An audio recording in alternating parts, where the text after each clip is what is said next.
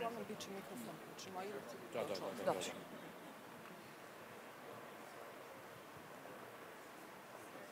Pretty hard, pretty hard to forget. Pretty hard to forget. Okay. Okay. Uh, great. You guys. Um, I said that it makes somebody. I don't know. Did it?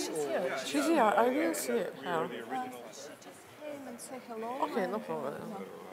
Uh, okay, is the Can I one with ask the you a favor? right? For, for, uh, if there, were, there is some question from the audience, just uh, to approach with Mike. Okay. What goes? Okay. So, Yeah, yeah, I mean, you know, I've done work in AI and we do work in AI. And plus I'm, oh, Yeah? For a long time.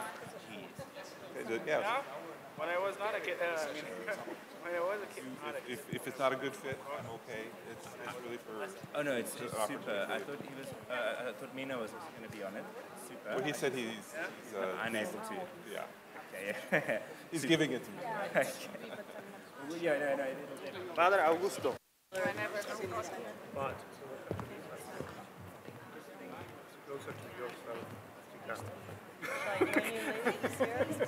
I'm noticing that. I was going to say, I was going to are talking about. Are you taking confessions? No, no, no, no, no. We're we're just uh, discussing the, the yeah the, the outcome of what we want. Or session.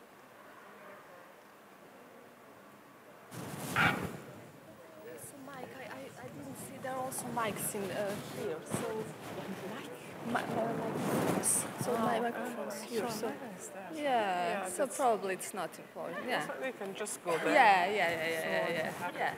yeah. Part of, part of the job. Just for you all to know, the, the first question that will come up to you, and we said that everyone should have a tweet at the beginning, uh, once, we, once we turn to you, is how, how do you define the responsible AI? So it should be sort of a, a tweet for responsible AI. Quick answer. Quick answer. You don't have to bring a definition, you can say there is no definition, or whatever you want.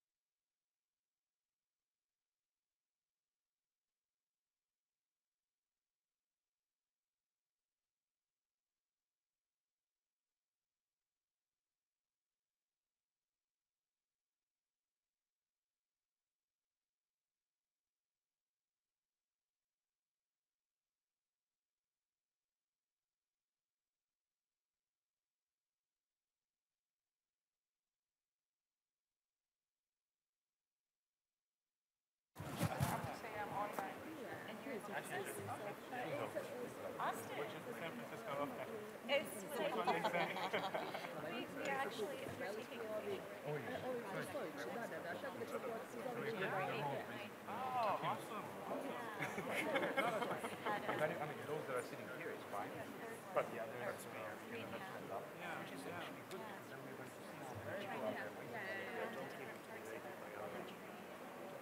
And we take a couple off and back to right now, Austin is not a different part of the country. it's almost San Francisco. Everybody who left San Francisco came to Austin. New York. So. Uh, Interrupting. No, okay. Let's see whether we have someone over there. I mean, it's probably bring your points, Yeah, yeah, yeah. yeah. repeat what others say. And you can even invite them occasionally. One, two, three, one, two.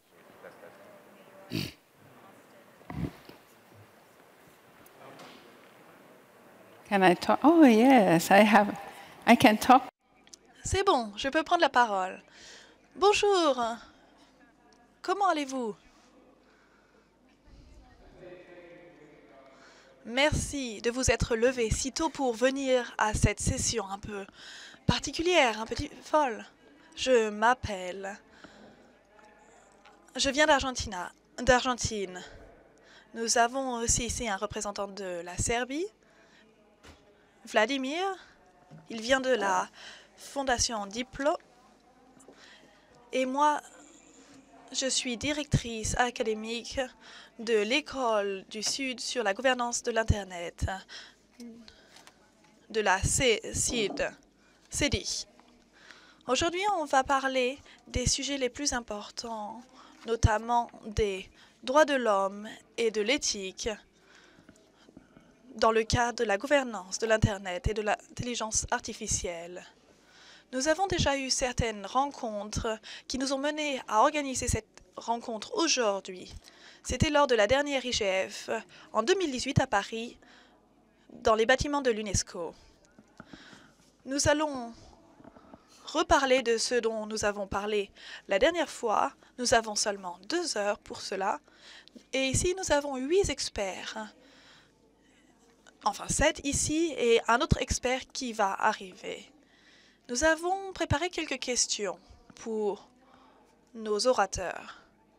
Et nous espérions que nous aurons encore plus de questions venant du public et que vous pourrez en parler avec vos partenaires, avec vos gouvernements. Si nous réussissons à faire cela, nous serions très heureux. Tout d'abord, je vais un peu commenter cette session. Nous parlons des droits de l'homme et de l'éthique et de leur application dans le cadre de l'intelligence artificielle. Nous savons que l'intelligence artificielle peut permettre de résoudre certains des problèmes les plus importants dans le monde, mais peut provoquer aussi plus d'inégalités. Nous avons vu depuis que la technologie existe, depuis que la civilisation existe, que tout peut être utilisé pour le meilleur ou pour le pire. L'intelligence artificielle peut créer de grandes choses, mais peut aussi provoquer plus de discrimination et des biais, des préjudices. Nous avons certains exemples ici. Comment pouvons-nous développer et utiliser l'intelligence artificielle d'une façon centrée sur l'humain et d'une façon fiable? C'est ce dont nous allons discuter aujourd'hui. Nous voulons utiliser l'intelligence artificielle de manière fiable, de manière sûre, complète, sans discrimination. Nous allons en parler aujourd'hui à l'IGF de Berlin. Nous voulons éviter les violations de la vie privée et de la protection des données. Nous voulons nous assurer de plus de transparence dans l'intelligence artificielle, plus de responsabilité lors de l'utilisation des algorithmes de l'intelligence artificielle. Où allons-nous? Comment les droits de l'homme et l'éthique et le cadre éthique sont utilisés dans le cadre du développement de l'intelligence artificielle. Nous avons vu donc plusieurs cadres éthiques qui ont été développés dans plusieurs organisations, par exemple l'OCDE, l'UIT, la Commission européenne et ainsi de suite. Nous allons les présenter dans quelques moments afin que vous compreniez ce dont on parle. Mais tout d'abord, comment cela fait face au développement que nous voyons actuellement? Est-ce que vous voulez ajouter quelque chose? Je pense que je vais présenter nos invités. Bien sûr. Donc, nous avons plusieurs orateurs ici, des experts distingués. Je vais les présenter. Nous avons Lisa Dyle, qui est la directrice de la politique en matière de partenariat de l'intelligence artificielle. Bienvenue, Lisa. Nous avons aussi Caroline Nguyen, qui est la directrice des politiques technologiques de Microsoft.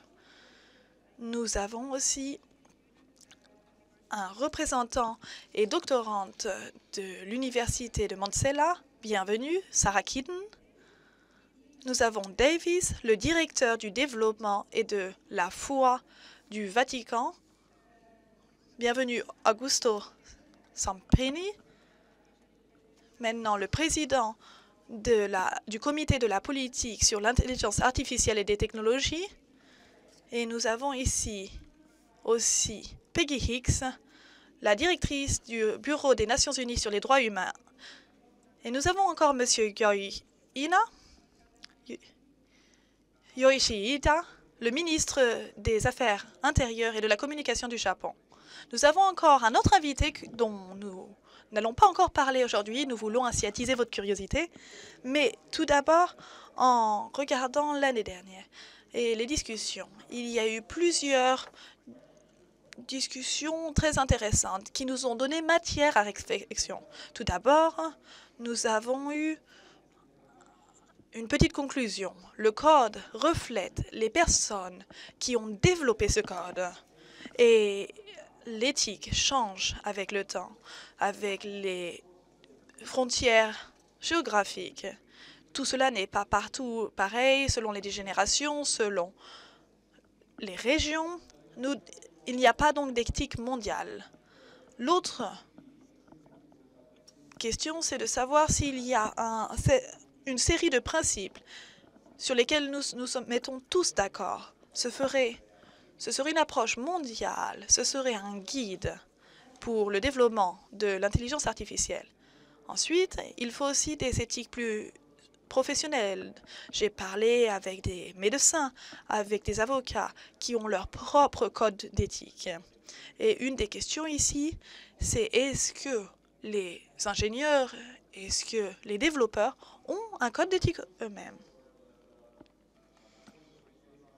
Il y a aussi un autre point dont on a parlé l'année dernière. Nous avons besoin aussi de plus de justice.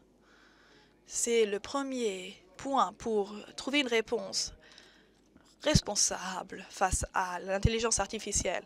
En effet, il faut traiter chaque personne de manière égale. Comment le faire avec l'intelligence artificielle? Il y a aussi une question de d'interpréter les résultats des algorithmes, interpréter les, les algorithmes. Mais comment pouvons-nous le faire? Il y a eu une très grande discussion sur ce sujet. Il y a une responsabilité par les êtres humains pour chaque décision prise dans ce domaine la responsabilité de l'homme pour les décisions prises par l'intelligence artificielle aussi. On en a parlé lorsque une voiture intelligente a tué la première personne. Est-ce que les lois aussi sont suffisantes ou est-ce qu'elles sont trop lentes face au développement de l'intelligence artificielle? En effet, pourrions-nous avoir une approche qui et des principes qui sont développés en même temps que l'intelligence artificielle? Peut-on repenser tout le cadre législatif de l'intelligence artificielle? Enfin, plutôt que de développer les lois, nous pouvons avoir des principes tels que la Déclaration des droits de l'homme de l'ONU, qui pourrait être l'instrument qui euh, donne une réponse pour une intelligence artificielle plus responsable. Voilà, donc c'est toutes les initiatives que nous avons. Comme je l'ai expliqué auparavant, il y a beaucoup d'innovations pour réétudier les éthiques, l'éthique face à l'intelligence artificielle. Je vais présenter déjà un petit graphique qu'on a développé ici, que Vlad a développé pour nous ce matin. Voilà, donc, centré sur l'humain, responsable. Et les mécanismes, centrés sur l'humain, donc le respect des lois de la dignité humaine, une intelligence artificielle juste, la sécurité, de l'intelligence artificielle, servir les citoyens, la société, la planète. Je pense que nous pouvons le partager avec le public après, non? On doit respecter encore les droits de l'homme, la liberté. L'intelligence artificielle doit être éthique et doit apporter des avantages pour la société. La plupart des initiatives ont donc des similarités et des points communs qui ont été résumés ici dans ce graphique, hein, dans cette image. En, plus, en particulier, il faut se concentrer sur l'humain. Maintenant, si on parle de l'autre catégorie, l'intelligence artificielle responsable doit être responsable. Il a besoin de plus de responsabilité, plus de transparence. Il faut aussi inclure cela lors du développement de l'intelligence artificielle. La transparence est importante.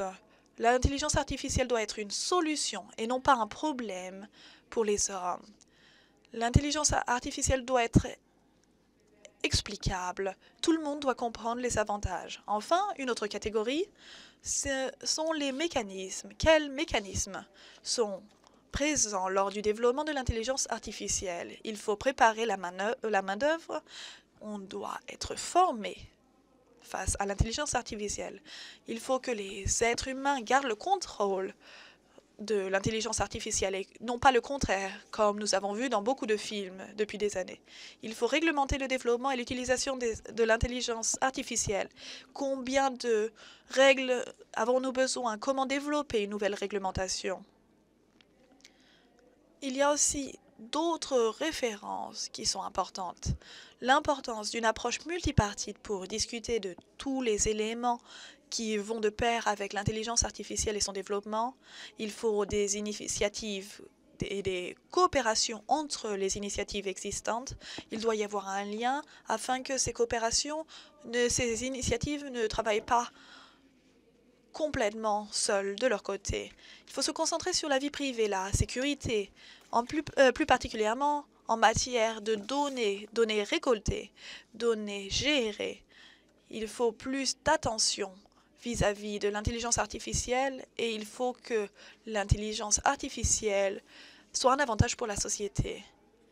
Nous avons donc beaucoup d'éléments qui ont à voir avec l'éthique, avec l'intelligence artificielle, beaucoup d'initiatives qui en parlent. Voilà les catégories principales sur lesquelles nous devons travailler.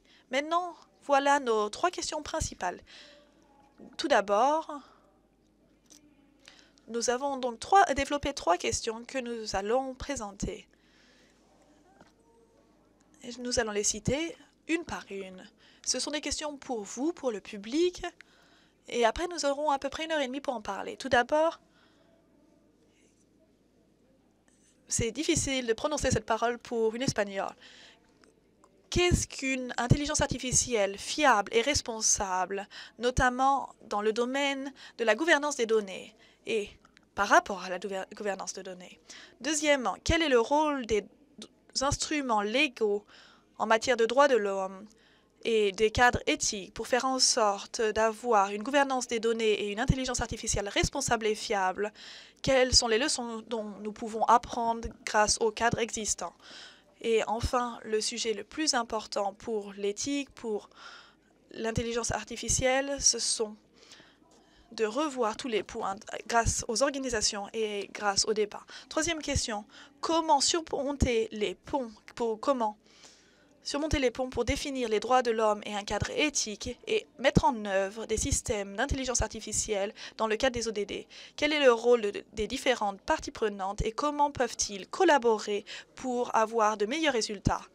Maintenant, par rapport à la première question, j'aimerais tout d'abord vous rappeler comment vous pouvez interagir. Tout d'abord, je pense que la meilleure musique que vous pouvez entendre le matin, c'est le jazz. Et cela va être un peu le cas aujourd'hui lors de notre session. Nous allons entendre du jazz, mais nous avons quand même besoin de votre contribution. Il faut que vous ayez des questions qui soient un peu provocantes. Il y a beaucoup de façons d'interagir. Il y a des microphones.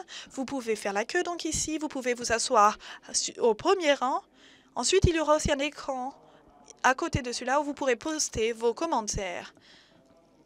Et vous pouvez nous dire d'arrêter pour préparer, pour échanger. Ne soyez pas timide. Maintenant, à propos de la question aujourd'hui, quel est le degré de responsabilité des acteurs pour une intelligence artificielle responsable? Nous savons que c'est une responsabilité partagée. En effet, on l'entend souvent, c'est bien, mais qui prend la responsabilité? Qui a quel degré de responsabilité? Vous pouvez utiliser vos ordinateurs, utiliser le code, le code 272900 et aller sur le site que vous voyez affiché à l'écran. Le site Menti. maintenant, la première question de savoir quelle est, qu'est-ce que c'est qu'une intelligence artificielle fiable? C'est aussi difficile de prononcer ce mot en service, je dois dire. Qu'est-ce faut penser toujours en matière de gouvernance des données. Nous devons décoder ce dont on parle nous nous sommes mis d'accord avec un tweet. Nous ne voulons pas de blog, nous voulons un tweet. Qu'est-ce que c'est que l'intelligence artificielle responsable? Maintenant, je vais commencer ici avec notre invité à gauche. Merci beaucoup. Merci beaucoup pour votre question. Pour moi, une intelligence artificielle est une intelligence artificielle, une AI, une IA qui se base sur le concept de la concentration sur l'être humain. Nous avons commencé cette discussion il y a déjà trois ans. Dans les forums internationaux. Comme vous le savez tous, nous avons eu une discussion dans le cadre de l'OCDE, de l'OCDE et aussi dans le cadre du G20. Et j'ai vu dans votre présentation introductive que les gouvernements se sont mis d'accord sur certains principes d'intelligence artificielle. Cela inclut l'inclusivité, l'inclusion, la concentration sur l'être humain et la transparence, la robustesse et la responsabilité. Ce sont les bases d'une intelligence artificielle responsable et fiable, et je pense que nous les partageons. Pour moi, il faut savoir comment mettre en œuvre une intelligence artificielle qui mette en œuvre ces principes. Et maintenant, nous allons discuter de cela, discuter de la façon de réaliser, comment nous pouvons réaliser ces principes individuels. Voilà, c'est exactement la question. Comment arriver à faire cela? Mais je pense qu'il était très important de présenter ces principes. Sarah, oui, pour moi, je reviens à la définition du dictionnaire. Pour moi, pour la fiabilité, il faut que l'on puisse avoir quelque chose qui soit honnête et qu'on puisse faire confiance. Pour moi, l'intelligence artificielle, c'est exactement la question. Est-ce qu'on peut lui faire confiance? Est-ce que l'intelligence artificielle est honnête? Nous avons vu la Commission européenne, par exemple, qui a eu sa propre définition et qui parle justement de la fiabilité. Cela doit être éthique, cela doit euh, remplir tous les principes, les valeurs, cela doit être robuste et robuste sur le plan technique, mais on ne doit pas oublier le concept et le contexte social. Il y a d'autres euh, visions, mais voilà, l'honnêteté, la fiabilité, c'est très important. Maintenant, Agosto, ah, petit problème de micro.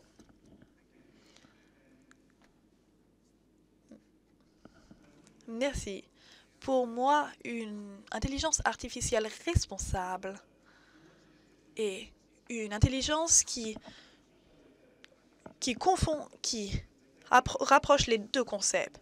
L'intelligence artificielle, artificielle donc c'est un aspect assez technique, mais l'intelligence c'est quelque chose d'anthropologique. Mais l'intelligence il s'agit d'apprendre, de prendre des décisions. Nous apprenons, nous apprenons comment prendre des décisions ici, non seulement d'un point de vue artificiel, mais d'une façon technique et aussi humaine, dans un contexte humain. Pour moi, une IA responsable, c'est un aspect technique en parallèle d'un aspect humain. C'est un aspect commun.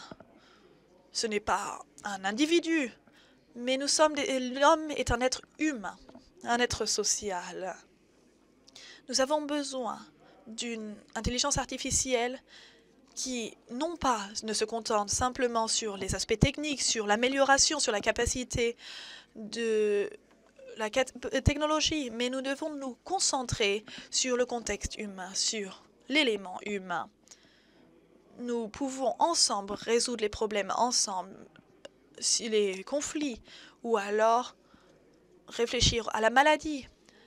Mais si vous demandez aux plus pauvres, je suis un prêtre et je demande souvent aux personnes, si nous prions, pourquoi voulez-vous prier? Souvent, la première chose, c'est la santé. La deuxième chose, c'est pour les hommes et les femmes qu'ils aiment, et en particulier pour ceux avec qui ils sont en conflit. Et vous pouvez vous imaginer, l'intelligence artificielle est inclue dans ces conflits nous, avons, nous devons inclure cet aspect, cette responsabilité de l'intelligence artificielle, inclure l'aspect intelligent à côté de l'artificiel, un aspect qui aide les utilisateurs, les entreprises, les développeurs afin de devenir plus humains.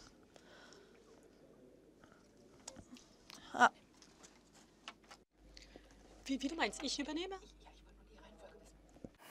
I will do, I will do probably, I will take the path of the philosophical argument.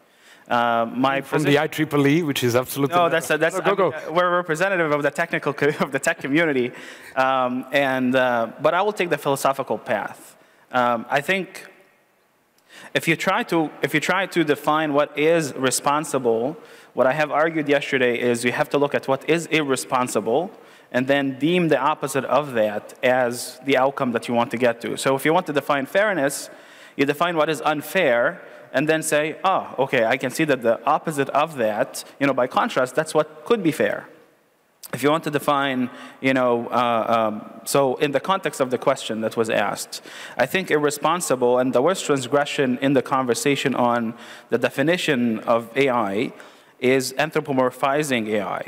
So projecting human you know, uh, properties or characteristics on the AI, and, that's, and that kind of falls under moral outsourcing, what we call moral outsourcing, meaning that if there are decisions that are deemed to be harmful to a party because they have been the subject of a use of an automated decision-making system, AI broadly defined, then you say that the responsibility doesn't fall on the party that designed the tool or the party that had curated the data and so on and so forth or designed the algorithm and so on, but it falls on, you know, on AI. AI made me do it kind of, a, kind of an argument. That's, that's irresponsible in my opinion.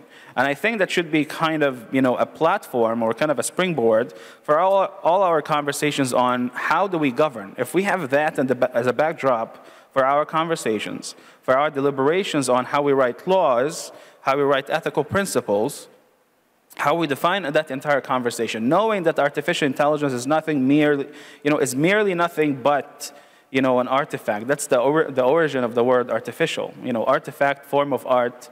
It is something that we design, that we create. But if we assume that, you know, it's more than that, you know, and that's kind of the part of the responsibility of the narrative right? When we just say it's robots, it's mm. whatever. It's not that. It doesn't have the same agency, doesn't have the same cognitive you know, properties as humans. It doesn't reason like humans. So that's very important to define what should be responsible. And that's actually our responsibility in defining and communicating about AI. And, and, thanks for taking the philosophical uh, view. Uh, and uh, if, if, I get it correctly, then in a way, responsible AI is about responsible people that are behind it. Huh? Uh, and we have the artifact there, but we'll get back to the artifact at the end of the, of the session. Uh, Lisa. Uh, good morning. I actually want to take it a little bit philosophical as well. Um, I think that actually all of the actors up there should approach any work they're doing in this space with empathy and compassion empathy and compassion for the people who will be affected by AI, those who are frightened about losing their jobs, those who are not invited to the table to have these types of discussions, empathy and compassion for those who are um, biased as a result of some poor design decisions. So I think in a short tweet, I would just say empathy and compassion is fundamental to responsible AI. Thank you for tweeting, not blogging. Eh? I was going to say, I, I don't think uh, everybody's on Twitter here. Uh. Um, so I'll try to stick to the rules and say, for me, responsible AI is something that my grandmother understands, my teacher can explain, and I'm not worried about it being applied to my children. And that means it has to be transparent, understandable, and accountable. Good tweet. Ellen? Thank you. So what can I say that hasn't been said before? Um, you know, for us, responsible AI is really simple. It is about uh, bringing technology to the table that's human-centered, designed in a way that augments human capabilities and not replacement. Um, it, it's interesting that the term artificial, I think, puts the emphasis on the wrong thing that this is something that is always going to be compared to human. We think of artificial intelligence really as computational intelligence, and it's really people who are behind it. So from the perspective of how do you make that technology realize its potential and be adopted more broadly, we then use the term trustworthiness. At Microsoft, we created um, the Center on Trustworthy Computing in the beginning of the 2000s because we said why trustworthiness? Because it's important to bring technology to the table that earns the trust of the people. We don't tell you you need to trust us. We need to demonstrate how, what are the properties of a technology, of, um, in this particular case, computational intelligence, that will foster trust and enable its broader adoption.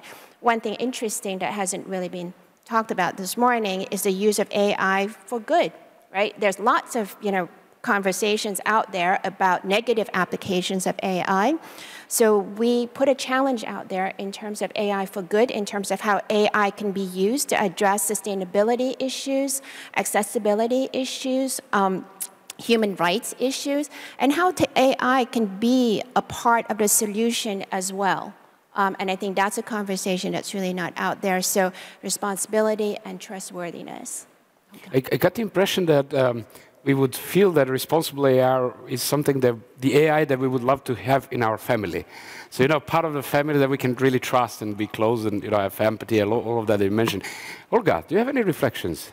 Uh, well, I took some notes as the, our dear panelists were speaking, and uh, I, I gathered some words. Honesty, inclusion, fairness, compassion, empathy, transparency, accountability, and trust.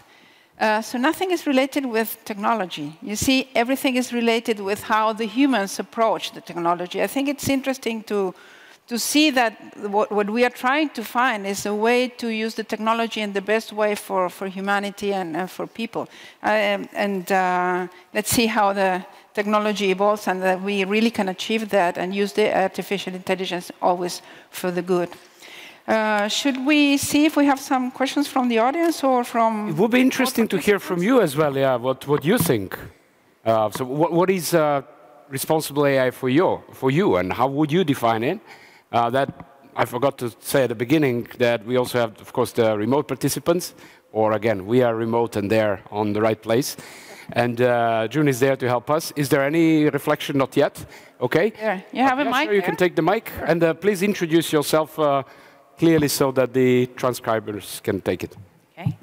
Uh, good morning. Thank you, first of all.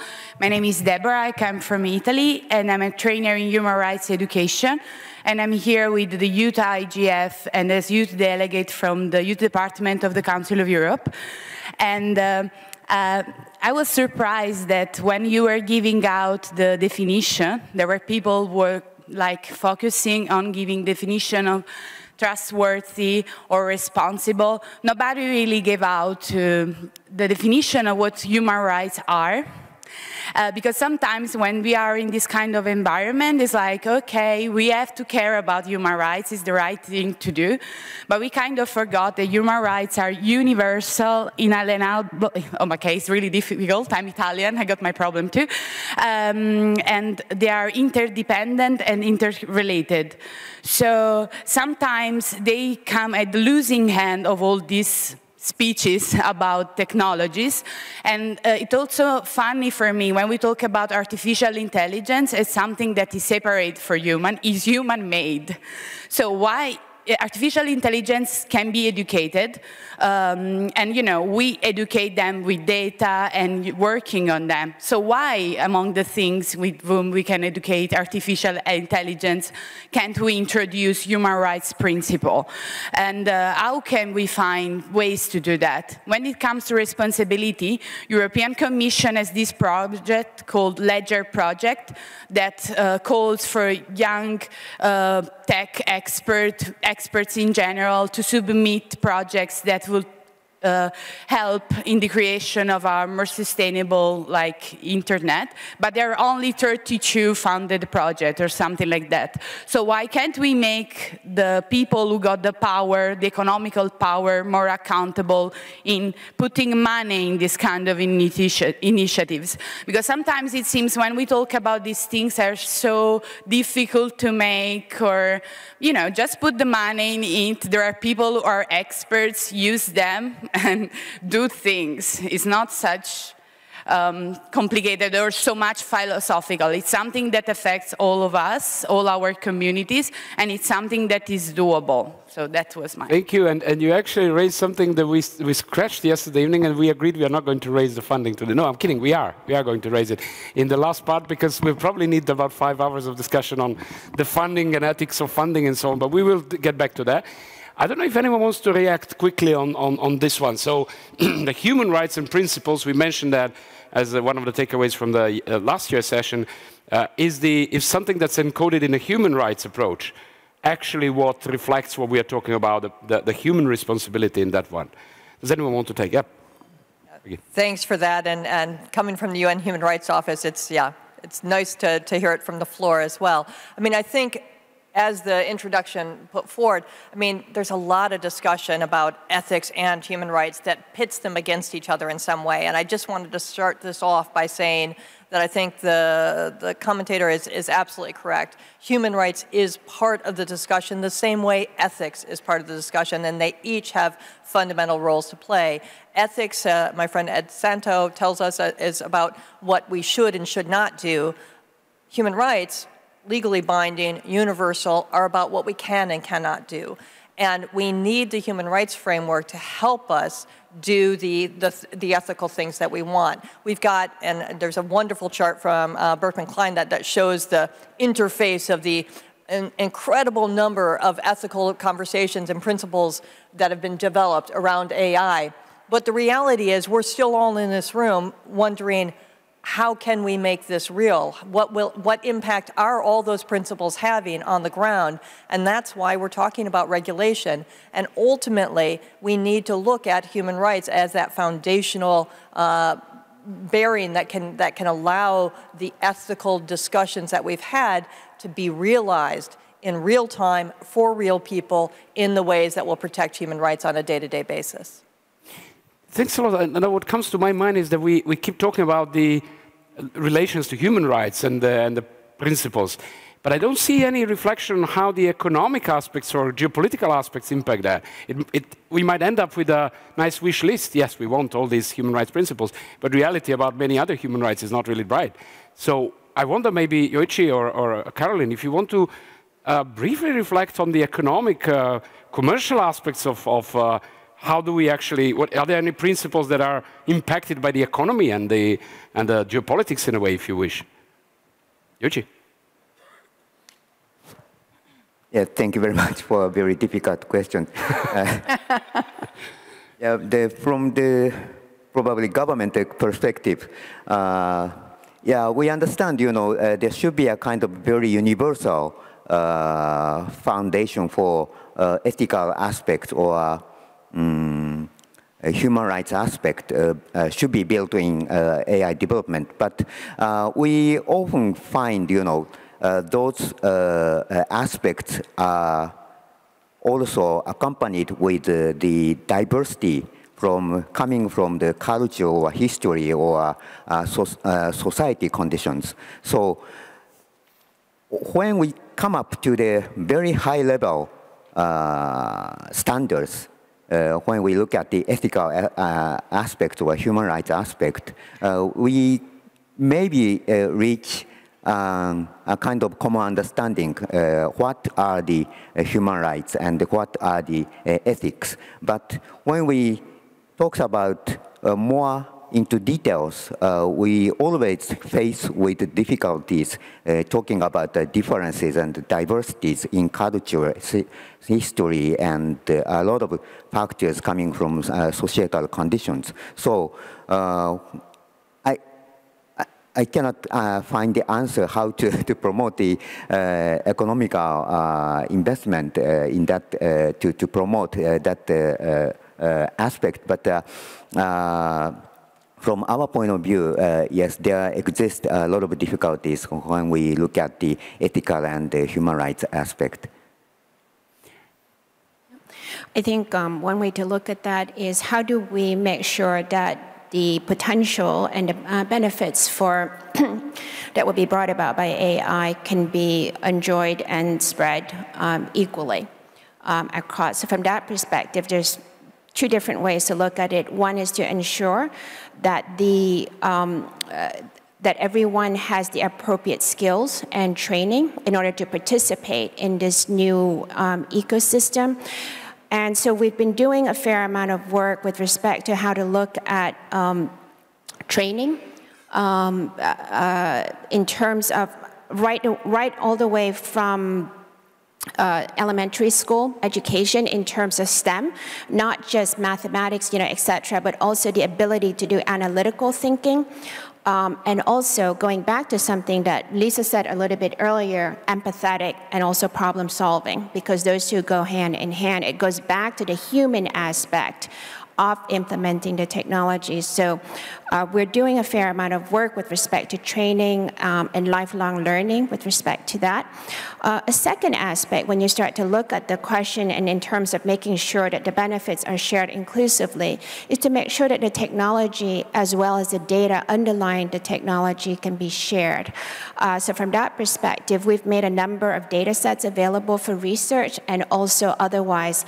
As a specific example, we're working with the um, OECD as they're formulating their AI policy observatory to share data. There's two sets of data there in terms of the uh, Microsoft Academic Graph, looking at um, uh, publications where collaborations are taking place, where innovation is being spread. And then secondly, the LinkedIn economic data, which looks at um, the economic opportunities, training, migration, talent, skills development, supply and demand, you know, et cetera. We've also launched an initiative to, um, to start an, a conversation on how to share data more broadly. And the conversation here is you talk about data sharing, but then there are issues about organizations not knowing what data can be shared, what data should be shared, and what are some of the mechanisms, et cetera, that can enable that conversation to occur more holistically that's another part of responsible data governance that isn't really discussed more holistically in an integrated manner. And thanks for raising the, the question of the data, because I think that's, that brings us back to actually the responsibility of the humans. Uh, I'll start with Augusto, then uh, Lisa, then uh, Mina. Thank you. Um, and, and, thank you, Karen, for, for bringing up, uh, up the, the sharing thing that is really, really important. Um, but one thing that we are facing at the moment, one problem we are facing with data is the, mon the monopolization of data by big tech com companies. So we don't want to, to end up in, into a, a, division between data owners and data slaves. Data is the, the fuel of AI. So it's, if we don't discuss about data, when we discuss about ethics, we are done. And, and, the, and the question that many companies are uh, asking uh, many big tech says is, uh, is not just how to share or what to share, but is the benefit, are the benefits of AI or could AI benefit the less powerful groups or not? Because this is, this is the problem. It's about, um, for, I will give you an example, so I'm not just talking, uh, because your question was about economics. AI is replacing jobs or changing the, the whole dynamics of jobs. Now, jobs for, for many people uh, are not just something that we do in exchange of a salary. a job is part of our vocation. We are called to work, whether that is part of our DNA. We develop as human beings in jobs. Now, being, uh, given that AI is going to benefit lots of companies, but with less jobs, so who is going to pay the cost? Who is going to pay that cost, or, or that, or what, what economists call the transition? Well, and this is, this, is a, this is very important because it's not just about the data sharing or how do we share, but it's, well, all this data, the benefit of this data, but that is benefit some and, and not everyone, are those some going to share the cost of the transition while we transit into a different way of understanding jobs and what we do with the, the shared time? So one of the goals of this session, which we forgot to say at the beginning, is to open more questions, not to yeah, give the answer. More questions. I'm glad we are going in that direction.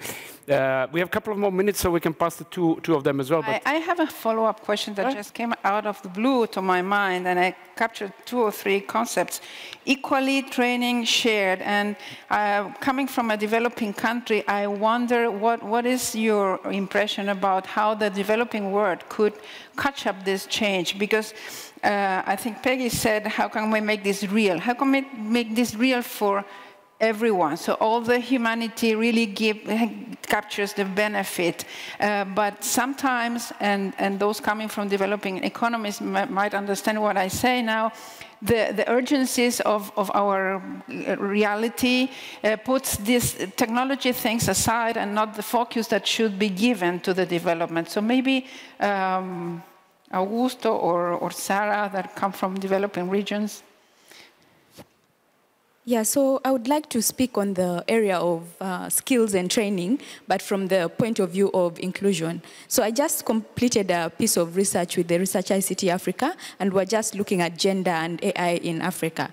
So when we took a look at the AI startups in Africa, looking at who is part of the development teams, there was a problem. Like you hardly found any women. So we went a step lower and said, okay, let's see, uh, let's look at universities. And for the case of Uganda, I was looking at admission lists of uh, people who are joining computer science, software engineering courses. And you'd find sometimes two women in a class of 40 or 50. So I would like to request that in your skills and capacity building initiatives that you also be inclusive and ensure that all voices are still included all the same. Thank you.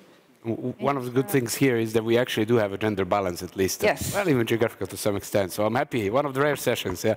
Uh, Augusto, and then we'll get back to Lisa and Mina. Just two quick uh, questions or counter sorry, answers or counter questions. One is, uh, yes, about education, but this is something that a discussion I have with my mother all the time. Every time we face a problem, he says, oh, the solution is education. Well, yes and no. I mean, the Second World War was initiated by the best educated country in Europe at that time. So the, the, the problem is what kind of education and education for whom? And, we, and, in developing countries, as we know, in South America, in Africa. En Afrique, dans cette partie de l'Asie, eh bien, il manque d'éducation également. Et on parle vraiment d'éducation de base ici. On parle d'éduquer des personnes sur l'intelligence artificielle. Ça me paraît trop sophistiqué. Donc, la question est de savoir comment est-ce que l'éducation artificielle va aider ces personnes.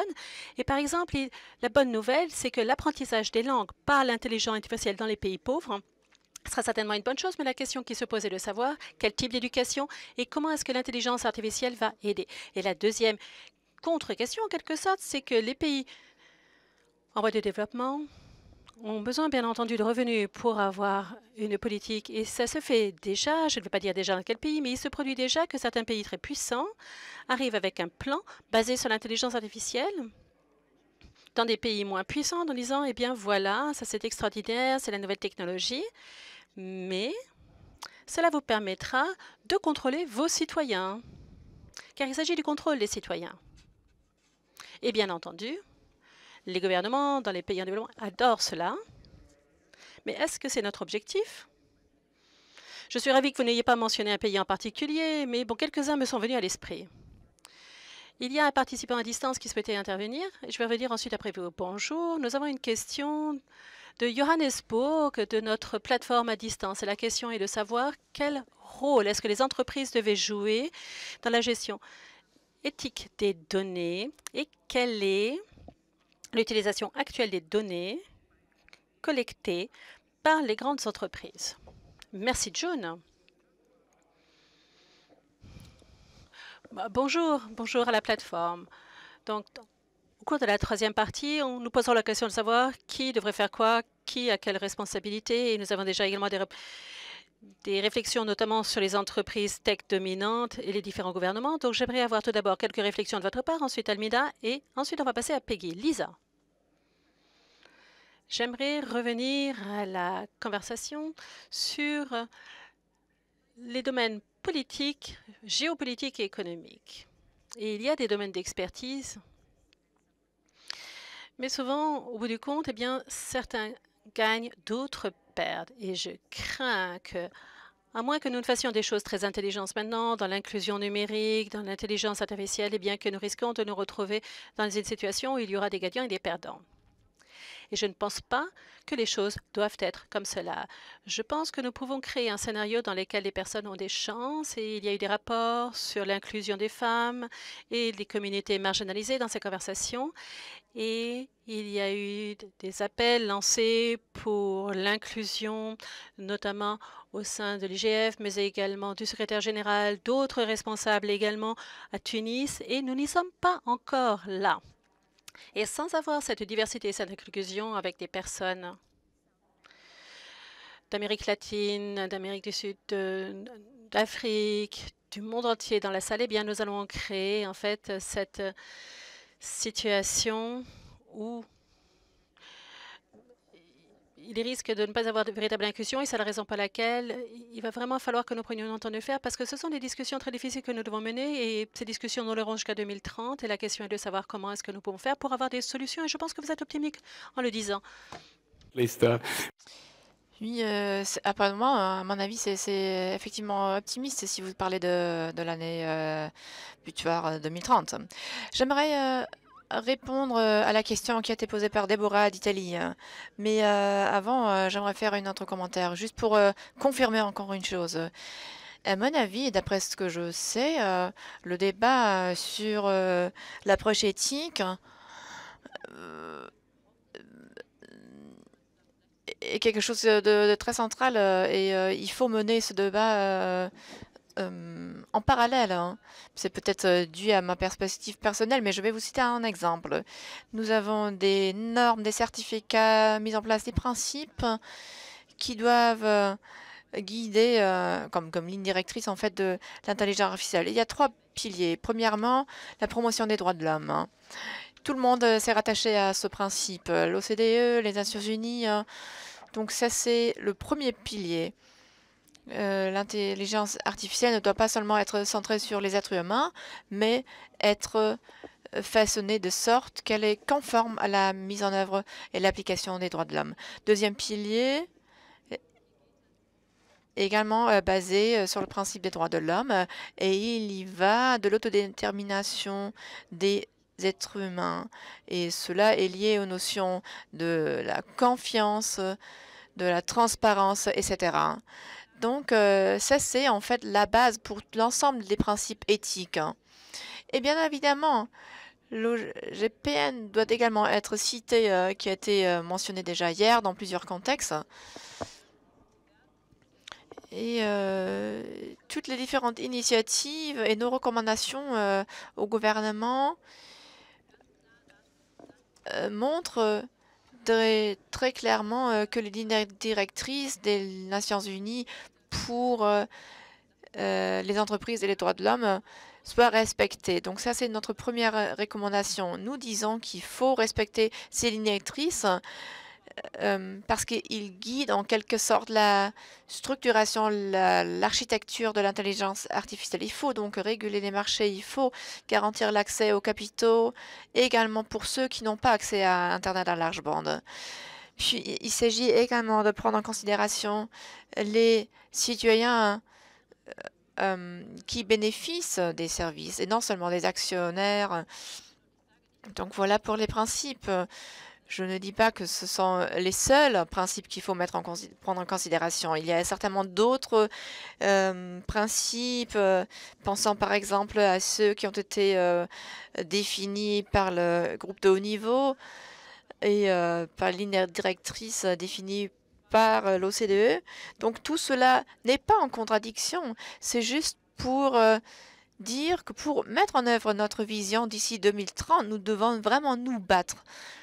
Ces principes sont excellents et nous avons vraiment déjà réalisé énormément de choses, mais quand on pense à tous ceux qui n'ont pas, qui n'ont toujours pas accès euh, aux technologies, euh, on constate euh, qu'il y a vraiment un problème. Le secrétaire général a mentionné une statistique selon laquelle seulement 2 personnes, pardon, 2% des femmes en, en Afrique du Sud a accès à un téléphone portable. Donc, si vous êtes une femme en Amérique latine et vous souhaitez créer une entreprise et vous n'avez même pas accès à Internet, comment est-ce que vous faire? Comment recruter du personnel? Comment comment arriver à votre but? Il est très clair, de, euh, il faut se battre, il faut avoir recours à la diplomatie, il faut contacter les gouvernements, il faut coopérer, non seulement pour échanger de, bonnes, de belles paroles, mais vraiment pour euh, se battre pour réaliser ces objectifs. Et j'espère euh, que nous arriverons à atteindre cet objectif d'ici 2030. J'espère, je pense que c'était une très bonne transition pour arriver à notre deuxième hein, objectif. Mais euh, pour conclure euh, euh, cette première partie, je voudrais encore une fois passer la parole à Peggy. Oui, effectivement, je, voudrais, je, voudrais, encore un petit peu parler des, de l'inclusion. Oui, vous avez mentionné la perspective économique. Je pense que cela est lié au fait qu'il y a un déficit d'incitation. Parce que quelles sont actuellement les incitations qui existent. Hein. Nous devons changer la donne pour faire en sorte que les entreprises vérifient vellement euh, au respect des droits de l'homme. Et ces entreprises doivent vraiment avoir un avantage concurrentiel par rapport aux entreprises qui ne respectent pas les droits de l'homme. Et il faut donc que les gouvernements mettent en œuvre les principes des Nations Unies et les droits de l'homme pour que les entreprises soient obligées de respecter ces lignes directrices et pour être conformes aux droits de l'homme. À mon avis, il s'agit vraiment de s'adresser aux entreprises et de les convaincre de respecter euh, les droits de l'homme. Et celles qui ne le font pas devraient vraiment euh, avoir un, un problème en matière de concurrence, on va dire. Merci euh, pour cette euh, excellente intervention. Avant de passer la parole à Olga, je pense qu'on devrait afficher le prochain transparent. Donc, si vous souhaitez contribuer, euh, n'hésitez pas. Donc, veuillez tout simplement envoyer un post et peut-être euh, on devrait euh, tout simplement réfléchir et respirer, bien respirer pendant un petit moment. Et à mon avis, vous avez raison. Les experts ont soulevé encore plus de questions que, que de donner des réponses. je me suis un petit peu attendue à ça, pour être franche.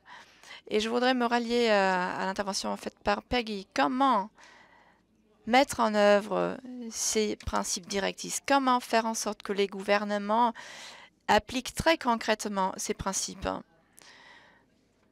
Est-ce que vous souhaitez intervenir ou est-ce que est-ce qu'on poursuit avec le deuxième sujet? Ok, encore un commentaire concernant le rôle des droits de l'homme euh, dans la gestion responsable des données personnelles et dans l'intelligence artificielle. Est-ce qu'on peut tirer des leçons du cadre qui existe et est-ce que les principes éthiques, est-ce que les normes des droits de l'homme peuvent être gardés tels quels Est-ce qu'il faut les retravailler? Et est-ce qu'ils peuvent être appliqués euh, à 100% euh, sur l'intelligence artificielle? Est-ce qu'on a plutôt besoin d'une approche multipartite pour adapter justement les droits de l'homme à ce contexte et euh, comment donc transférer euh, le droit euh, à l'intelligence artificielle? Donc ça serait donc intéressant pour notre prochaine discussion. Peggy, qu'est-ce que vous en pensez? Quelle est votre vision concernant le contexte juridique actuel? Est-ce qu'il faut le retravailler? Est-ce qu'il faut le modifier? Est-ce qu'il peut être appliqué tel qu'il existe aujourd'hui? Ou est-ce que nous devons approfondir encore une fois la discussion là-dessus? Bon, Merci beaucoup pour cette question très concrète. Je pense qu'il y a un grand nombre de personnes qui disent que les questions dont nous traitons sont tellement nouvelle, tellement inouïe, euh, qui ne s'adapte pas du tout euh, au contexte posé par les droits de l'homme, hein, qui ont été adoptés en 1949. Et mon avis est oui. Ma réponse est oui. Là, je pense, euh, dans un très grand nombre de cas, nous avons vraiment besoin d'une modification des règles. Et euh, à mon avis, ça, devrait être une première étape. Identifier les lacunes qui existent, identifier le, besoin de modification. Et c'est seulement dans un deuxième temps qu'on va être capable de mettre en œuvre cela concrètement dans le cadre de l'intelligence artificielle. Il faut également euh, penser à la dignité humaine. Je pense euh, les lignes directrices de des Nations Unies sont vraiment un excellent point de départ pour mettre l'accent euh, sur les gouvernements et sur les entreprises qui doivent assumer la responsabilité. Et il est également très clair que nous avons encore un peu de mal à concevoir une bonne approche euh, concrète. Donc ça, c'est vraiment un projet euh, euh, qui nécessite la coopération avec les entreprises. Les lignes directrices ont une longue histoire. Ils ont été appliqués, par exemple, dans l'exploitation minière. Mais qu'est-ce que cela signifie concrètement pour leur application dans le contexte de l'intelligence artificielle, dans la fabrication de technologies nouvelles? Comment assumer, euh, faire en sorte que la responsabilité euh, soit assumée euh, dans le cas de dégâts, etc. Pensez également à la reconnaissance faciale, etc. Donc cela mérite vraiment une réflexion approfondie. Il y a déjà toute une série de réponses qui ont été données, mais il faut toujours se poser la question de savoir est-ce qu'il y a toujours un besoin de modification. Nous avons déjà un cadre légal qui existe et vous dites à juste titre que les entreprises sont prêtes à coopérer euh, avec vous pour essayer de mettre en œuvre, d'appliquer concrètement ces lignes directrices. Qu'en est-il des gouvernements et des autres organisations? Qu'en est-il du Vatican? Donc, les entreprises appliquent ces, euh, euh, ces, lignes directrices euh, pour développer leur technologie. Mais est-ce que ce, concept des droits de l'homme a été respecté dès le début, dès la première phase de conception des technologies? Quel est le contexte juridique euh, dans votre perspective? Oui, merci euh, de m'avoir posé cette question. Effectivement, oui. Ces principes existent, euh, mais ils ne sont pas suffisamment mis en œuvre. L'intelligence artificielle est un aspect tout à fait nouveau, inouï.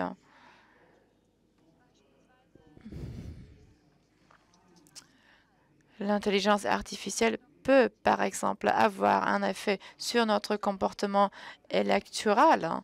Donc cela nécessite effectivement notre réflexion.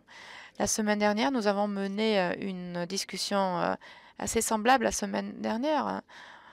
Il y avait deux représentants euh, de l'économie qui disaient l'intelligence artificielle ou réguler l'intelligence artificielle euh, est comparable à la régulation de la mer, c'est presque impossible, bien évidemment. On peut euh, proposer des incitations, mais euh, réguler l'intelligence artificielle en tant que telle, c'est presque impossible. Et pourquoi est-ce qu'on mentionne tout le temps les données? Eh bien, l'intelligence artificielle est basée sur les données. Mais quand on pense aux données, il faut également prendre en considération que ces données ont un PC. 80% des informaticiens à la Silicon Valley euh, sont de couleur blanc et euh, sont des hommes. Hein.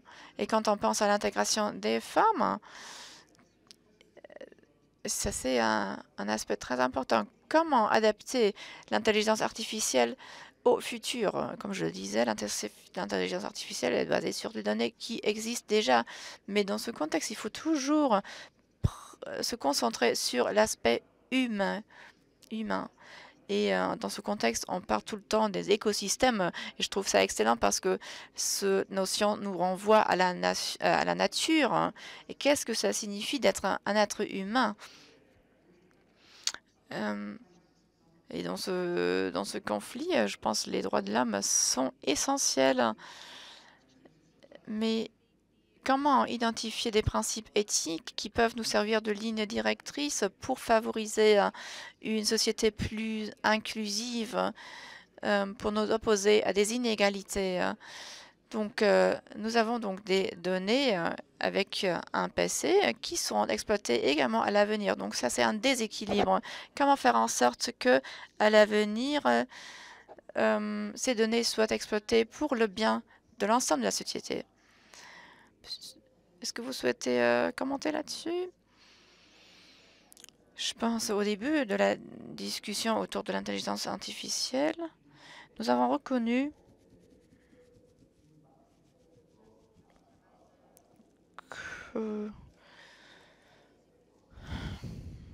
ils ont euh, potentiellement un effet énorme sur la société et sur l'économie. Et cela n'est pas limité à un seul pays, mais cela vaut pour le monde entier.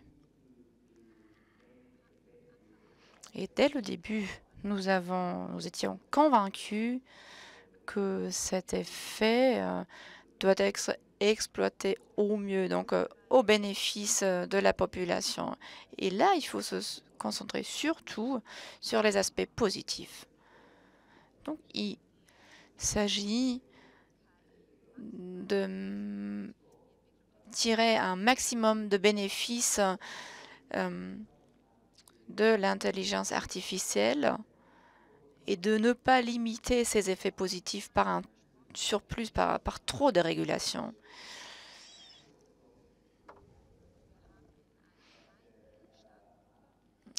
En fait, nous avons discuté euh, ce sujet dans un cercle restreint d'États. Et c'était euh, très important pour nous euh, de faire participer aussi le secteur privé et la société civile. Donc, dès le début de ce processus, nous avons poursuivi une approche multipartite. Cela a été prioritaire et essentiel pour nous dans ce processus nous voulions respecter intégrer les perspectives de ces différents acteurs. Après, nous avons élargi le cercle des participants. Nous avons invité plusieurs euh, d'autres pays à participer à ce processus. Nous avons également intégré davantage la société civile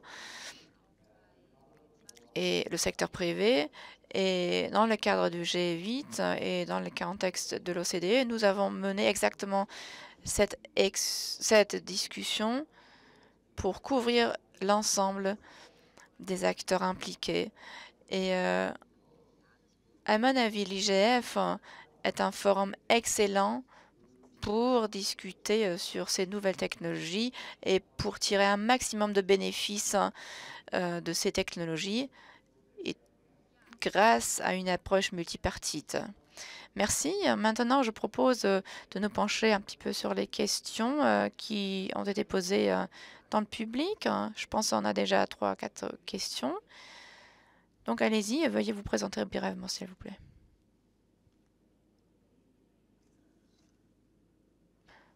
Bonjour. Je travaille à l'Université Wuhan. Merci. D'organiser euh, ces échanges euh, très importants. À mon avis, nous devrions adapter des normes spécifiques concernant la la responsabilité particulière des entreprises. Donc, instaurer une espèce de responsabilité sociale des entreprises qui travaillent dans le domaine de l'intelligence artificielle. Je suis convaincue que la communauté euh, de l'IGF peut jouer un rôle essentiel dans ce contexte. Hmm, par ailleurs, nous avons besoin de mesures euh, qui euh, instaurent la confiance de la part des entreprises. Et à mon avis, une approche multipartite peut être très fructueux. Nous avons besoin de, normes globales concernant un comportement responsable des entreprises dans le contexte de l'intelligence artificielle. Et moi, je proposerais que la Pologne en fasse une priorité pour le prochain IGF. Merci. Deuxième question. Oui, merci.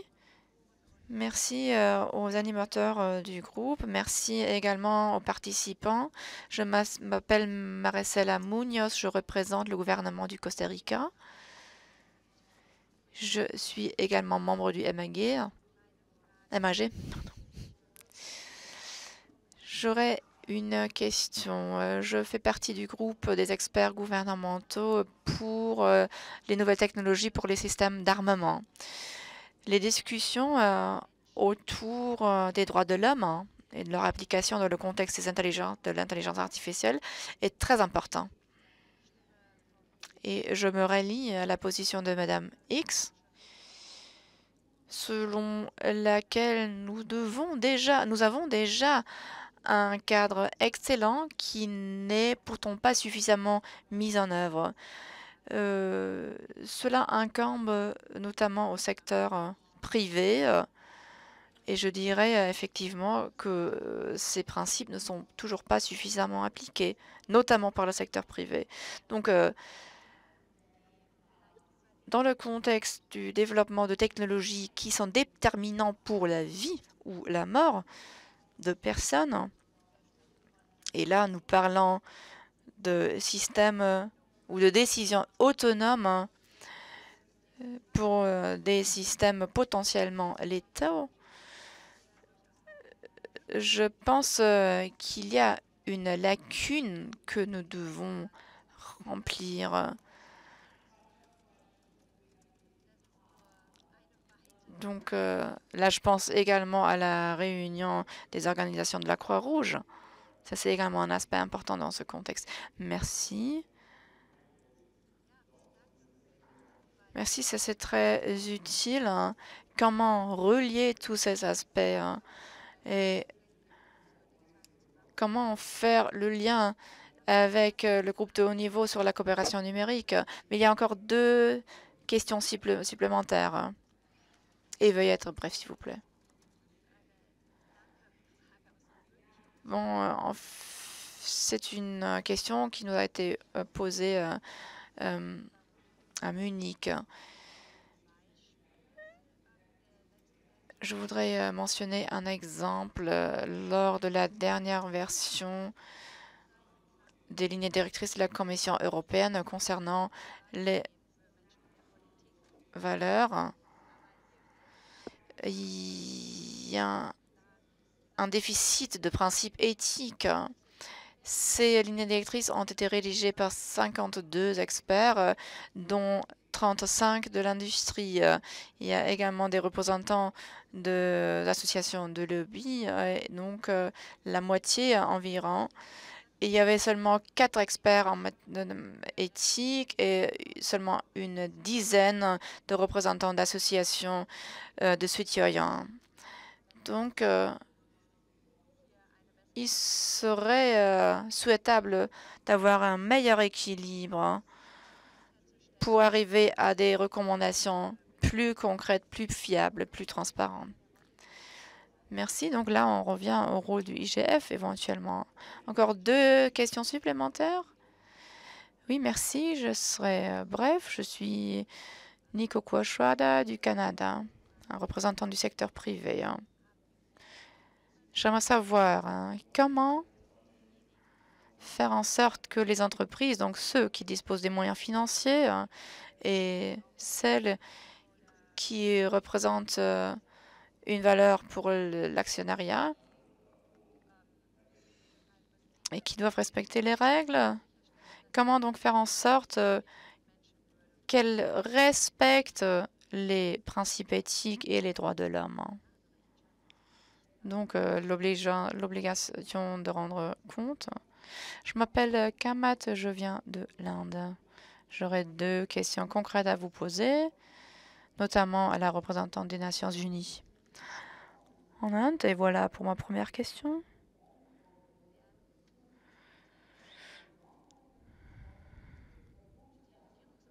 Les organisations gouvernementales sont régulièrement informées sur le développement des droits de l'homme, mais les organisations non gouvernementales n'ont pas accès à ces informations-là. Moi-même, je me suis adressée à l'Organisation des droits de l'homme des Nations Unies, mais je n'ai jamais eu de réponse. Je voulais, comme indique un interlocuteur, pour que les entreprises indiennes puissent également euh, avoir un interlocuteur pour euh, s'adresser aux, aux Nations Unies. Il n'y a pas de protection pour des personnes présentant un handicap. Ça, c'est contre les droits de l'homme et nous ne savons pas à qui nous adresser. Hein. Et les droits de l'homme desquels nous parlons euh, ici n'existent pas du tout en Inde.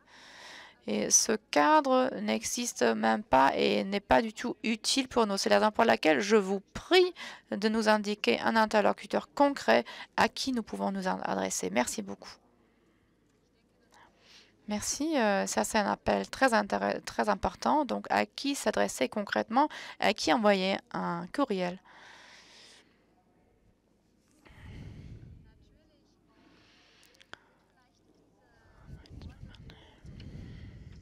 C'était un, commentaire très intéressant.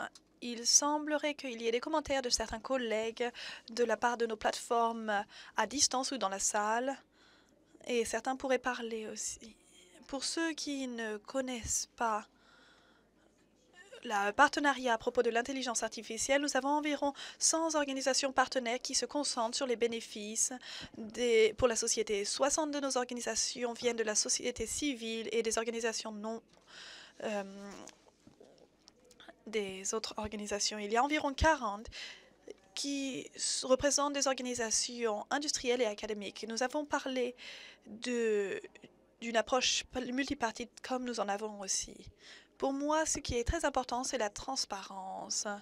Le plus nos entreprises, nos organisations, nos institutions universitaires sont transparentes sur la façon dont elles développent, elles construisent, elles mettent à jour ces technologies, plus nous allons comprendre l'utilisation dont nous en faisons, les valeurs que nous avons, le système, et si nous voulons nous engager pour, ce système. Je veux aussi que nous créions des outils pour que chaque personne soit responsable. Un de nos projets, c'est la transparence que nous avons appelé About ML. C'est un processus sur plusieurs années. Nous sommes ouverts pour les commentaires du public mais nous parlons aussi des initiatives de Google, de IBM, de Microsoft qui utilisent des données pour former ces modèles d'intelligence artificielle, qui utilisent les données qui sont disponibles. Lorsqu'on pense à un modèle, on peut réfléchir, regarder ce modèle et voir si ce modèle contient les informations qui sont nécessaires pour moi pour accomplir la finalité que je veux. Mais si nous trouvons qu'il n'y a pas les bonnes données qui ont été utilisées, ce n'est pas le bon modèle. Et je pense que si nous utilisons cela, cela pourrait provoquer des euh, biais, des problèmes. Là, nous avons la société civile, les organisations universitaires qui travaillent énormément, qui soutiennent cela, qui soutiennent toutes les organisations partenaires dans le domaine de l'intelligence artificielle afin d'adopter des, mesures transparentes et que tout le monde soit responsable. Il y a aussi d'autres personnes dans ces organisations qui sont des champions individuels qui soutiennent ce sujet et qui font en sorte que l'on mette en œuvre ce sujet à l'avenir aussi. Merci beaucoup. Tout d'abord, je voudrais revenir à votre question sur les droits de l'homme de l'ONU et à la Déclaration des droits de l'homme. Et je commente aussi ce que vient de dire Peggy. Pour nous, nous n'avons pas besoin d'un nouveau cadre. Ce cadre est universel et intemporel. Nous avons des valeurs intemporelles, mais la question c'est de traduire ce cadre réglementaire dans nos systèmes d'intelligence artificielle, que cela puissent être utilisés. Je suis désolée, mais je reviens au terme d'écosystème de, l'intelligence artificielle. Nous ne parlons pas que des grandes entreprises technologiques, mais nous parlons aussi de start-up, de petites et moyennes entreprises dans le monde entier.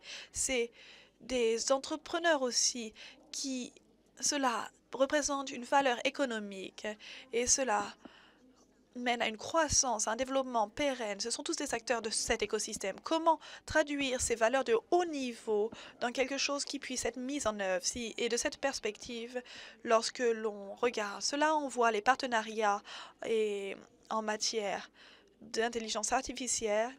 Nous avons besoin de cofonder cette Nous avons besoin aussi d'avoir une conversation multipartite, de parler des sujets qu'on doit, des problèmes que l'on doit résoudre des sujets dont on doit parler pour faire en sorte que cette technologie puisse accomplir tout son potentiel. Est-ce que cela est fiable? Je euh, reviens aussi à ce sujet.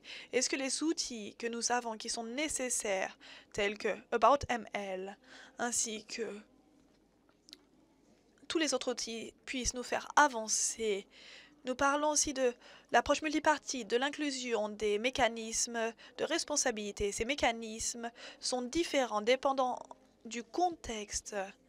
Nous espérons donc avoir des cadres de haut niveau qui incluent tous les domaines civils, politiques, économiques, sociaux dans ce cadre, avec le secteur économie, avec tous les secteurs. Nous avons besoin d'en tirer les leçons autre chose, nous devons comprendre, et je reviens à la question de Sarah, nous devons comprendre quels sont les problèmes, quels sont les mécanismes.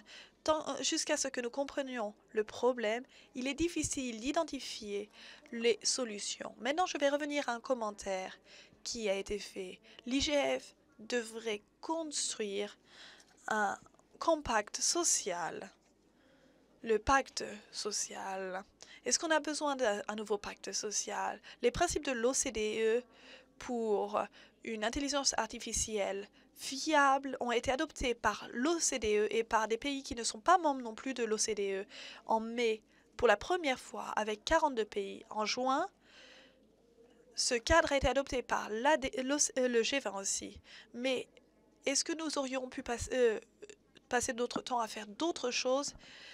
Est-ce que l'on va pouvoir continuer à travailler, à réussir à atteindre le point pour mettre en place des pratiques partagées, pour avoir un feedback et pour continuer à, être à avancer, à faire des progrès et à mettre en œuvre tout ce que nous avons décidé? Olga, maintenant. Mina ou d'abord Augusto? Je voudrais revenir aux commentaires du représentant ici de Neil du Canada c'est-à-dire comment nous pouvons aider les entreprises à traduire ces cadres éthiques en actions, en valeurs concrètes. Je n'ai pas la solution, mais ce que nous évoquons ici avec les entreprises, mais aussi avec euh, beaucoup de personnes venant de la société civile, c'est que l'intelligence artificielle, peu importe si nous l'aimons ou pas, est un miroir de la société à le moment. Ça pourrait être un miroir plus sombre, vous connaissez l'expression Black Mirror, ou cela pourrait être un reflet beaucoup plus positif. Bien sûr, nous avons deux côtés, nous avons un des côtés sombres, des côtés plus agréables, plus positifs euh, chez les humains. Nous avons aussi beaucoup d'injustices. Nous avons beaucoup de choses qui sont mauvaises, mais nous avons aussi de grandes quantités de bonnes choses. Il faut aussi penser que c'est un miroir du succès. Le succès et l'étude du succès dans les technologies ne peut pas être limitée à certaines étapes, certaines façons dont nous utilisons. Pourquoi? Nous devons continuer à mesurer le progrès de la technologie du côté de la productivité, de sa valeur utile, du côté technique aussi. Si nous ignorons les progrès humains, le développement humain ou le bien-être, cela sera aussi problématique. Donc je voudrais dire qu'il faut continuer à penser à la façon dont nous pouvons l'utiliser, mais aussi, nous ne parlons ici pas que de l'économie, euh, d'une utilité économique, mais nous avons besoin aussi des principes éthiques Lorsque l'on parle d'utilité, cela est un principe très sophistiqué. C'est cadre éthique en lui-même, mais c'est limité. Nous avons besoin de nouveaux principes. Nous avons besoin d'étendre la notion du succès de l'intelligence artificielle parce que nous ne devons pas nous réduire à la productivité technique et économique. Cette évaluation doit être aussi appliquée pour plus de capacité, plus de cohésion humaine. Quelle est la valeur de l'intelligence artificielle? Nous devons partir du point de vue des actionnaires, mais nous devons penser aux parties prenantes, comme Neil l'a dit. Les parties prenantes voilà un sujet qui est difficile, car il y a tant de personnes qui sont incluses dans ce processus. Il y a la participation de la société civile. Mais comment nous pouvons faire quelque chose qui est bon pour vous si nous ne vous entendons pas? Comment pouvons-nous transformer ce monde? Comment pouvons-nous continuer à avancer? Nous devons continuer à y travailler. Ce n'est pas seulement un élément technique. Nous devons travailler avec les entreprises, les différentes entreprises, avec la société civile, avec les gouvernements. Mais certains certaines entreprises ont plus de responsabilités que d'autres.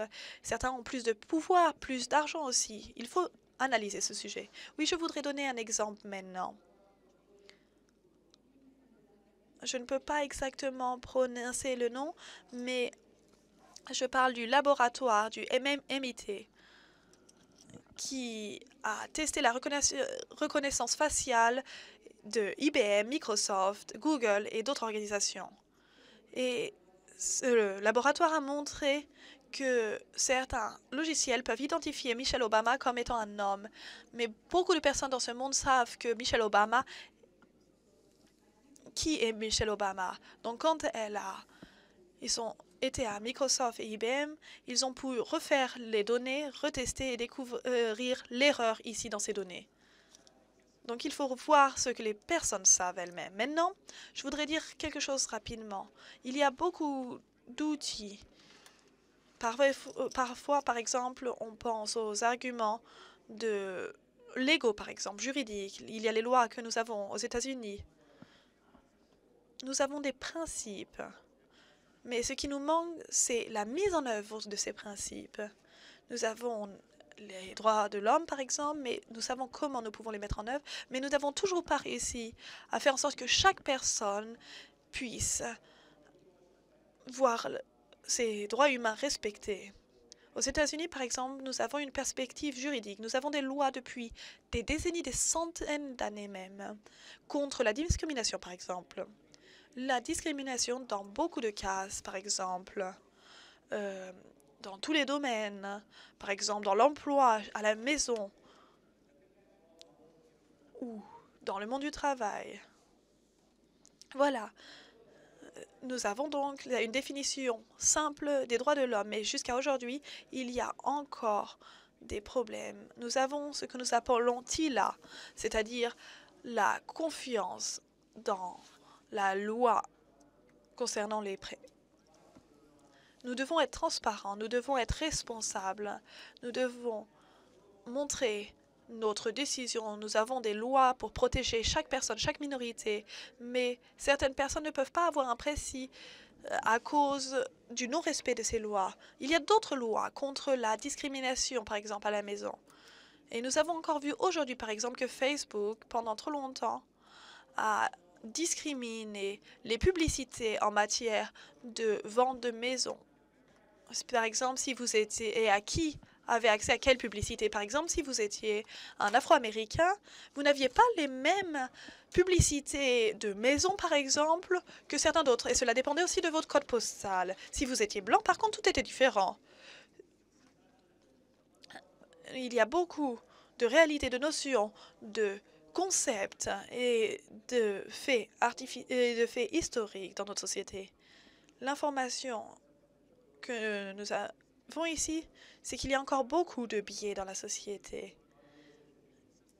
L'utilisation de systèmes auto,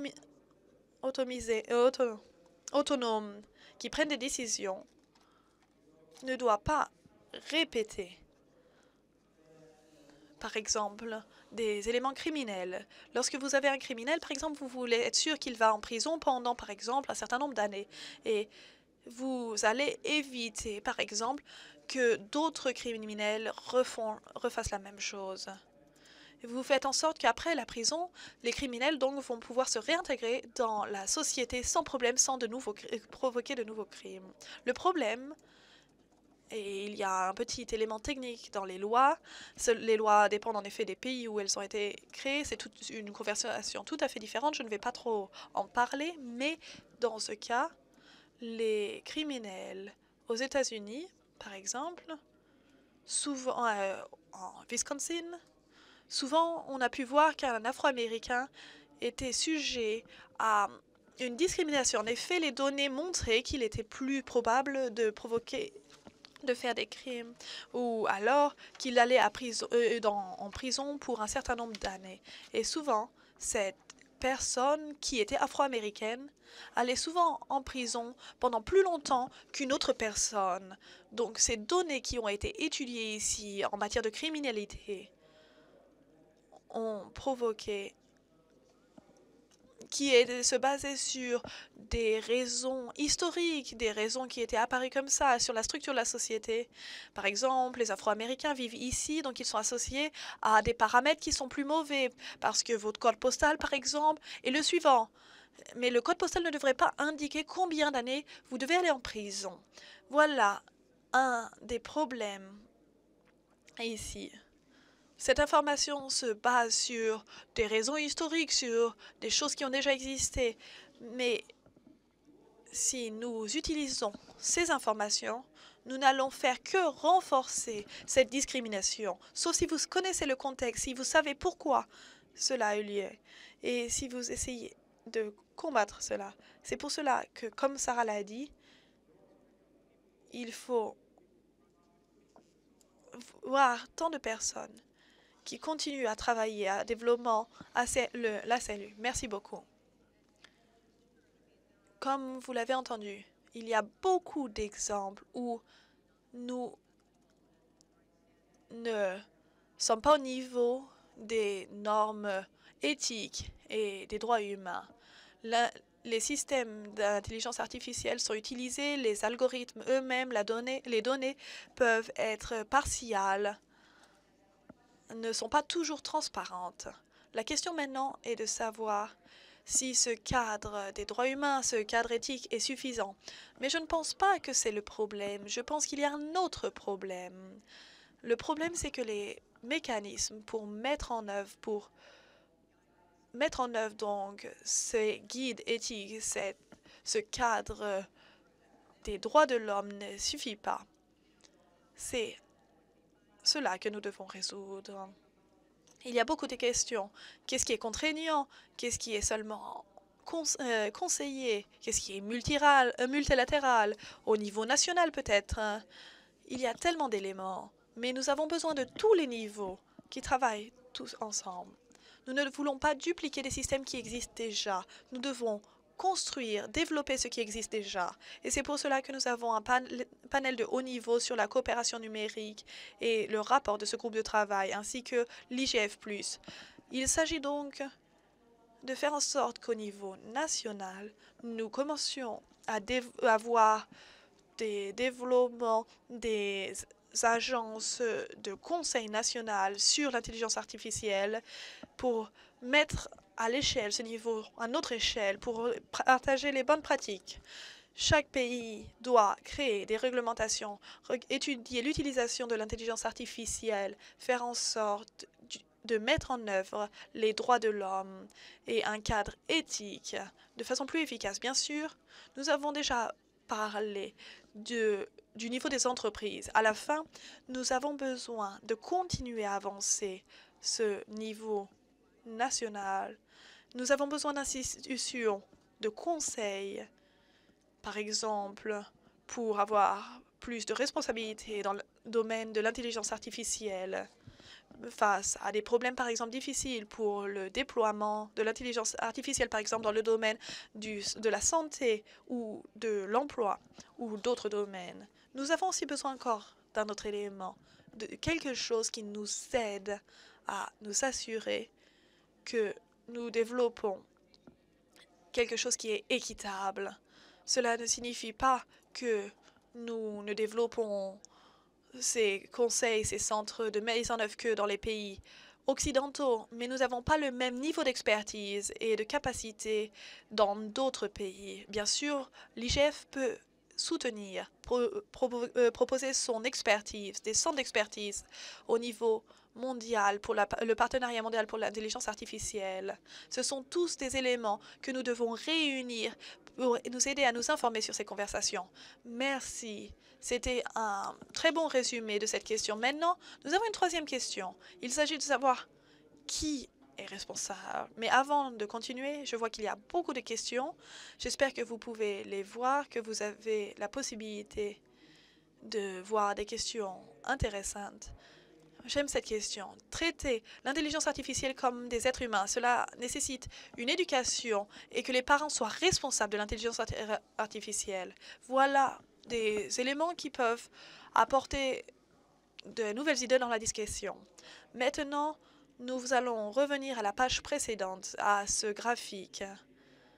Nous voyons ici les le huitième expert, donc c'est un système d'intelligence artificielle qui écoute toute la conversation. Maintenant, euh, à propos de la troisième question, comment surmonter le point, euh, créer un pont entre une définition des droits de l'homme et un cadre éthique et la, mise en œuvre, leur mise en œuvre dans le cadre des systèmes de l'intelligence artificielle et de l'ODD. Est-ce que cela est couvert? Quel est le rôle des parties prenantes? Comment travaillent-ils ensemble pour atteindre les meilleurs résultats? Et quel est le rôle des parties prenantes?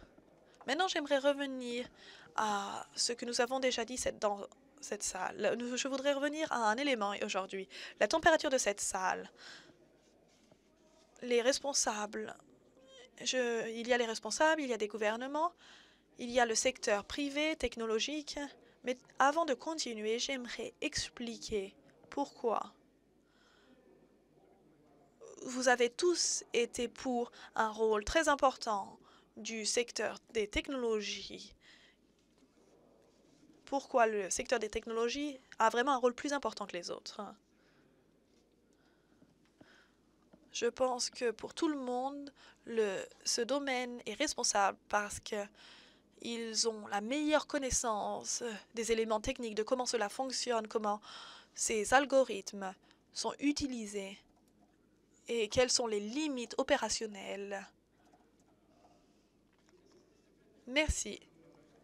Cela est très intéressant. Mais maintenant, je paraphrase, vous avez dit que le rôle des ingénieurs, c'est d'optimiser les solutions. Mais les données permettent de lancer cette discussion sur la responsabilité. L'année dernière, nous avons déjà dit, si nous nous sommes déjà demandé s'il devrait y avoir ou s'il y a un article, un code alternatif pour les ingénieurs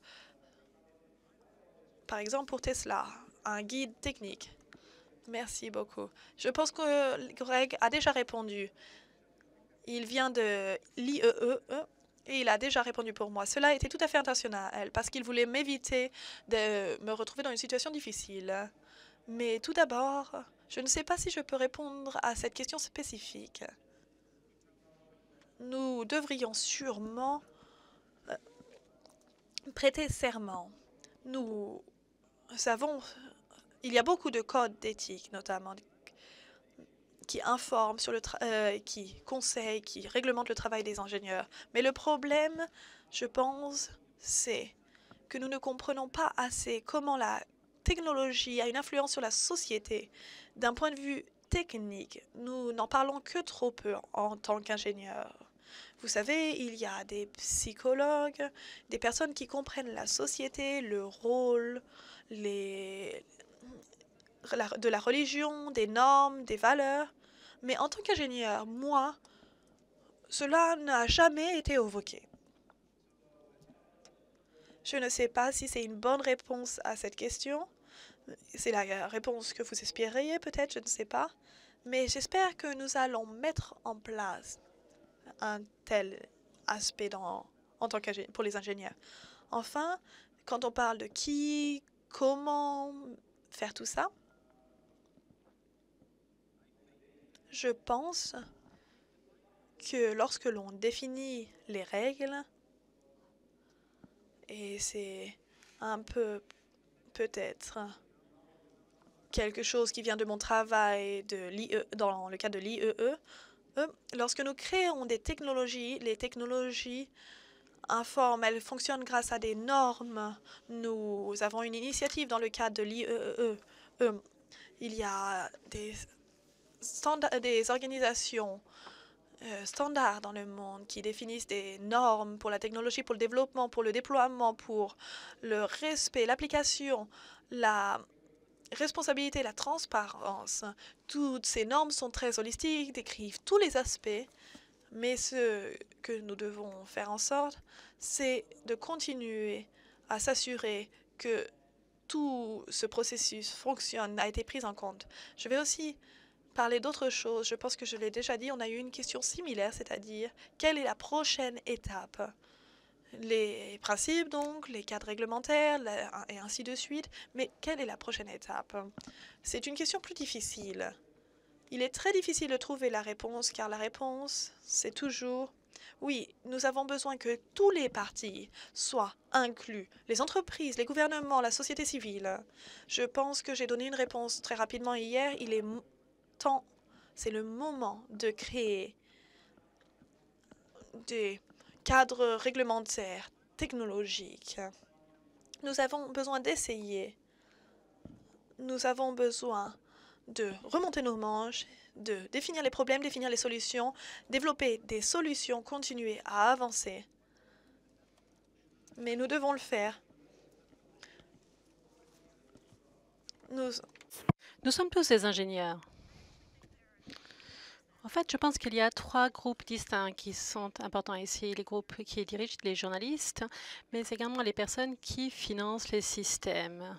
J'ai manqué votre conversation hier sur euh, le financement et euh, les financiers, mais lorsqu'on parle du leadership des entreprises, certaines de ces entreprises s'engagent pour une utilisation éthique et responsable de l'intelligence artificielle et d'autres s'engagent également pour la diversité et l'inclusion. D'autres euh, ont des euh, employés présents dans le monde entier et si ils ne suivent pas cet appel, s'ils ne mettent pas à disposition des ressources pour le faire, il est important qu'ils les appliquent en fait pour tous et pour les personnes qui travaillent pour eux également. Il est très important d'être un exemple, bien entendu. Il faut faire en sorte également que les choses s'appliquent également. Et les partenariats sur l'intelligence artificielle est à deux tiers de femmes. Donc ça, ce n'est pas une égalité homme-femme. Je n'ai jamais travaillé au sein d'une organisation telle que celle-ci et euh, aussi diverse que celle-ci, car le directeur exécutif a mis l'accent sur le fait que c'était important de donner l'exemple et c'est quelque chose qui vraiment se reflète dans notre travail. Les journalistes à présent, il y a d'excellents journalistes qui se penchent sur le thème de l'intelligence artificielle. Et l'une des questions que j'aimerais qu'il pose, c'est de savoir qui ne participe pas dans la création de ces rapports, qui ne participe pas dans cette étude. Et s'il n'est pas été parti, eh bien, pourquoi est-ce que, quelles sont les différences dans cette étude ou dans les résultats de cette étude qui euh, découlent du fait qu'ils n'ont pas participé? Il est important que nous soyons tous responsables et que nous ayons conscience qu'il faut que nous fassions un meilleur travail et que nous travaillons également les aspects de fiabilité, mais également d'inclusion, de diversité dans le domaine de l'intelligence artificielle. Et ProPublica a rédigé un excellent rapport et il y a une analyse donc de ces différents outils algométriques qui ont été utilisés. Et je suis parfaitement d'accord sur le fait que c'est là vraiment véritablement d'où vient l'innovation. Mais je pense que le calendrier attendu par euh, les financiers, les résultats qu'ils souhaitent obtenir dans un temps donné n'est pas forcément compatible avec le temps nécessaire pour la réflexion, pour parvenir également donc à avoir une intelligence artificielle qui soit fiable et de mettre en œuvre également l'angle ou cet aspect spécifique du respect des droits de également. Et c'est vraiment un travail que nous devrions tous consulter. Pour revenir à ce que vous dites sur les journalistes et les bailleurs de fonds, nous avions déjà eu une discussion hier concernant les utilisateurs. Les utilisateurs nous ne sont pas placés très très haut en fait sur ce classement. Et nous pourrions dire que c'est la faute des entreprises parce qu'il y a une pression économique et que c'est l'entreprise qui fixe les normes et qu'il y a tous ces aspects marketing. Très bien, mais les utilisateurs sont ceux qui créent la demande sur un, un manque d'éducation, de sensibilité, mais notre responsabilité d'usager, notre responsabilité à nous tous, de voir comment est-ce que l'on pourrait modifier cette demande, à savoir que la demande des usagers ne soit pas forcément les produits les plus brillants, les plus attrayants, mais un produit responsable. Et l'on revient à la question. Et en interne, nous sommes arrivés à une conclusion, mais bon, elle peut être soumise à réflexion, c'est que la société civile, les organisations de la société civile, les milieux universitaires pourraient faire davantage pour sensibiliser dans la formation, dans la recherche. Mais la question est de savoir qui finance. Et les journalistes, bien entendu. Donc, qui finance la chose et quel peut être le parti pris de ce financement? Et j'aimerais poser cette question à Sarah, car vous venez du secteur des ONG. Donc, qu'en est-il de la sensibilisation, de la recherche, euh, des aspects de financement? Et de l'évolution ou de faire évoluer la demande? J'aimerais commencer par dire que nous sommes ici pour discuter cela ici et que manifestement, il y a un problème qu'il convient de résoudre. Mais en tant que membre de la société civile ou des personnes qui s'engagent là, eh bien, je pense qu'il faut que nous arrêtons de prendre un air excédé et il est important, en fait, d'agir. Et c'est la raison pour laquelle j'ai donné l'exemple de Joyce, qui s'est vraiment engagé et vraiment motivé les entreprises. Et je comprends que parfois, le financement peut être difficile et qu'on a tendance parfois à s'orienter euh, aux souhaits de l'entreprise, mais nous avons vu qu'il y a vraiment des thèmes vraiment très pressants posés par euh, nos communautés et qui pourraient déboucher également sur les bonnes choses. Donc, je prenais des, notes en fait pour la conclusion. Y a-t-il des réactions? Je souhaitais revenir sur la question du financement et sur les différents mécanismes et rappeler qu'il y a un rapport qui a été publié ce matin, il me semble, sur l'atelier qui avait été mené sur l'intelligence artificielle. Et il était mentionné qu'il était important de financer le type d'action dont nous avons parlé aujourd'hui.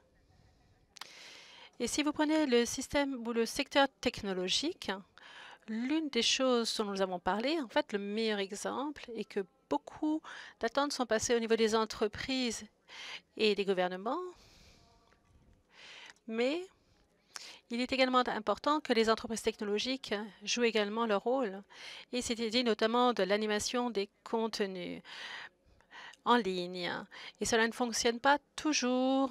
La question notamment des discours haineux que l'on n'arrive pas à supprimer suffisamment rapidement et ces systèmes ne sont pas transparents, ne sont pas forcément des systèmes pérennes. Et la question est de savoir comment est-ce que l'on peut faire ici pour inclure les droits humains et peut-être au niveau national au niveau multilatéral, mais ce que nous avons besoin pour les entreprises, c'est qu'elles se réunissent et qu'elles commencent à comparer la façon dont elles travaillent pour que nous ayons en fait une certaine cohérence, une consistance pour qu'elle soit davantage responsable de ce qui se passe. Il est le rapporteur spécial sur la liberté d'expression qui parlait d'un conseil qui pourrait être créé pour les médias sociaux auprès desquels les entreprises pourraient euh, être rendues responsables et cela donnerait un niveau supérieur ou supplémentaire de transparence sur les activités réalisées en ligne.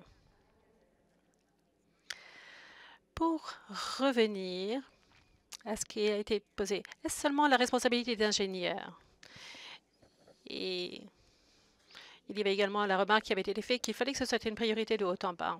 cela va dans les deux sens, bien entendu, de haut en bas et de bas en haut. Ce n'est pas uniquement les ingénieurs et ce n'est pas uniquement leur responsabilité. C'est la responsabilité de tout un chacun autour de la table. Et très tôt, nous avons identifié un aspect critique dans le développement de ce type de système, c'est le fait que ce n'est pas uniquement une approche multipartite, mais également pluridisciplinaire. Un exemple, un des recherches avait analysé dans un projet Le fait que si vous alliez, par exemple, avec une pneumonie à l'hôpital, quels étaient les traitements que les personnes recevaient? Et les personnes qui avaient de l'asthme pouvaient quitter rapidement l'hôpital et ne devaient pas être traitées en urgence. Et en fait, ça paraît complètement aberrant, mais c'était un médecin qui était au total qui a dit c'est absurde parce que les données montrent que si vous allez avec une pneumonie à l'hôpital et que vous avez de Lyme, vous aurez un traitement spécial. Donc ça, c'est un exemple très très simple qui dit que ce n'est pas uniquement les ingénieurs et les scientifiques spécialisés les données, mais c'est également les sociologues, les spécialistes. Et si vous souhaitez mettre en place un système, eh bien la question est de savoir quel est l'environnement social. Et chaque système qui va être mis en œuvre en Chine va certainement être différent d'un système qui va être mis en place aux États-Unis. Et cela revient à ce que vous disiez au préalable, à savoir que c'est l'éthique. Vous avez une construction qui est sociale et culturelle. Et le fait que ce soit juste euh, ou euh, éthique dépend du contexte, bien entendu.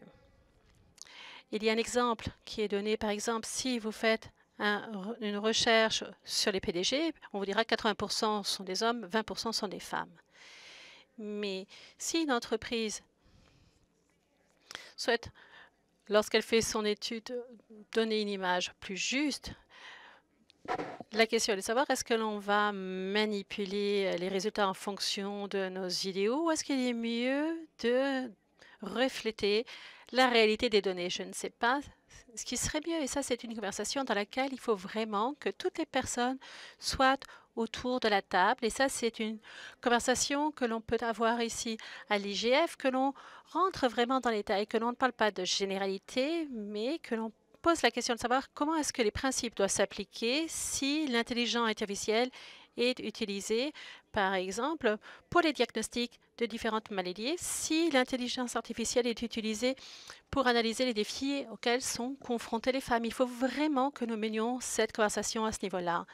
Je pense qu'il y a un commentaire très important qui a été fait sur le complexe pluridisciplinaire du thème. Et c'est également le cas dans la gouvernance de l'ingénieur, parce que je suis ingénieur, mais il faut que vous appreniez également sur les thèmes sociaux, sur les aspects internationaux, sur les lois, les règlements. Et ce n'est pas simple. Vous êtes formé d'une manière spécifique à un thème particulier, vous devez apprendre d'autres choses. Mais nous avons choisi une la carrière dans laquelle nous sommes le plus à l'aise. Donc, imaginez la difficulté pour l'intelligence artificielle de capter toutes ces connaissances, mais ça, c'est une réflexion très importante. Augusto, il faudrait que nous fassions une petite synthèse ici et après nous allons reprendre. Eh bien, pour revenir à cette approche euh, pluridisciplinaire, je ne suis pas un expert d'intelligence artificielle. Je suis, en fait, euh, plutôt un théologue spécialisé en, éthique. Et la majorité des traductions où la majorité de nos traditions, nos traditions éthiques, hein, sont d'accord à savoir que plus vous avez de ressources, plus vous avez de pouvoir, plus vous êtes responsable. Et c'est faux également dans vos familles. Pensez à votre famille, par exemple. C'est le même système qui s'applique. Donc oui, nous avons besoin d'une conversation avec toutes les parties prenantes, car c'est quelque chose qui touche toutes les personnes, oui, mais c'est comme le changement climatique. Bon, ça, c'est quelque chose de négatif. Ce n'est pas forcément le cas de l'intelligence artificielle, mais tout le monde est adaptant de résoudre le problème, mais ceux qui polluent davantage ont plus de responsabilités que les autres. C'est aussi simple que cela. C'est la raison pour laquelle on doit avoir une conversation sur tous, sur l'intelligence artificielle, mais ceux qui en profitent davantage ont plus de responsabilités. Mais d'avoir plus de responsabilités, ce n'est pas forcément une mauvaise chose. Et ce qui a été dit concernant les journalistes, je n'y avais pas pensé.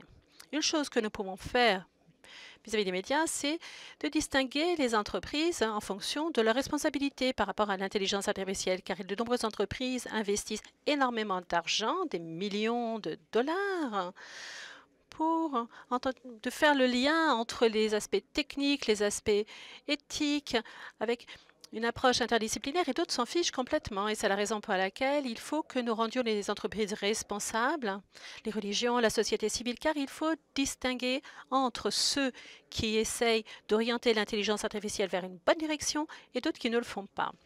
Et le principe de la responsabilité reste.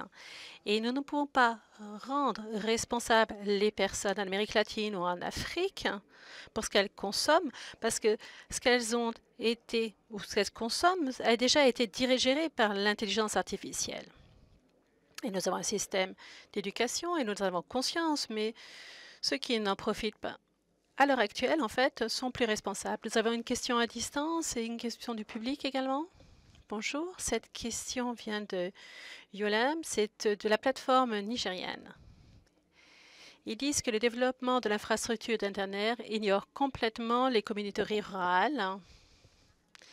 Et c'est la raison pour laquelle nous devons les inclure par l'intermédiaire d'initiatives de réseaux communautaires.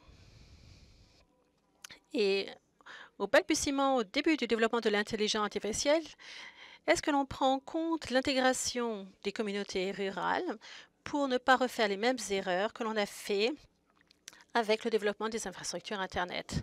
Merci. Il y a un commentaire? Merci. Je m'appelle Émile et je travaille auprès de l'Institut danois des droits humains et nous travaillons beaucoup sur l'évaluation de l'intelligence artificielle par le passé. Nous nous sommes pensés également donc sur l'évaluation de l'intelligence artificielle et je suis parfaitement d'accord avec Peggy et avec les autres personnes qui ont dit que oui, les droits humains sont parfaitement adaptés pour traiter ces différents thèmes, mais qu'on a peut-être besoin en fait d'une certaine orientation. Et ça a été une source d'inspiration également pour mes réflexions personnelles. Et la question que j'aimerais poser aux membres du panel, c'est que, avec une approche basée sur les droits humains, l'engagement des détenteurs de ces droits, bien entendu, est essentiel. Et nous avons parlé de très nombreux acteurs qui devraient participer, mais est-ce que vous avez réfléchi à la façon dont vous, vous avez une interface avec les différents détenteurs de ces droits ou par leurs représentants? Pour développer une intelligence artificielle responsable, parce que nous avons parlé de la participation de très nombreux groupes différents, mais qu'en est-il des titulaires de ces droits?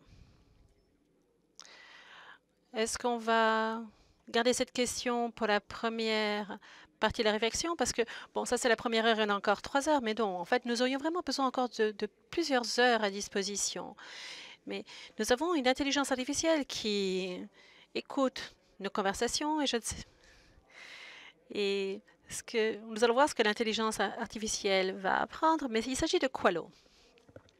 Qualo faisait le café et maintenant, c'est le futur expert de l'intelligence artificielle qui travaille pour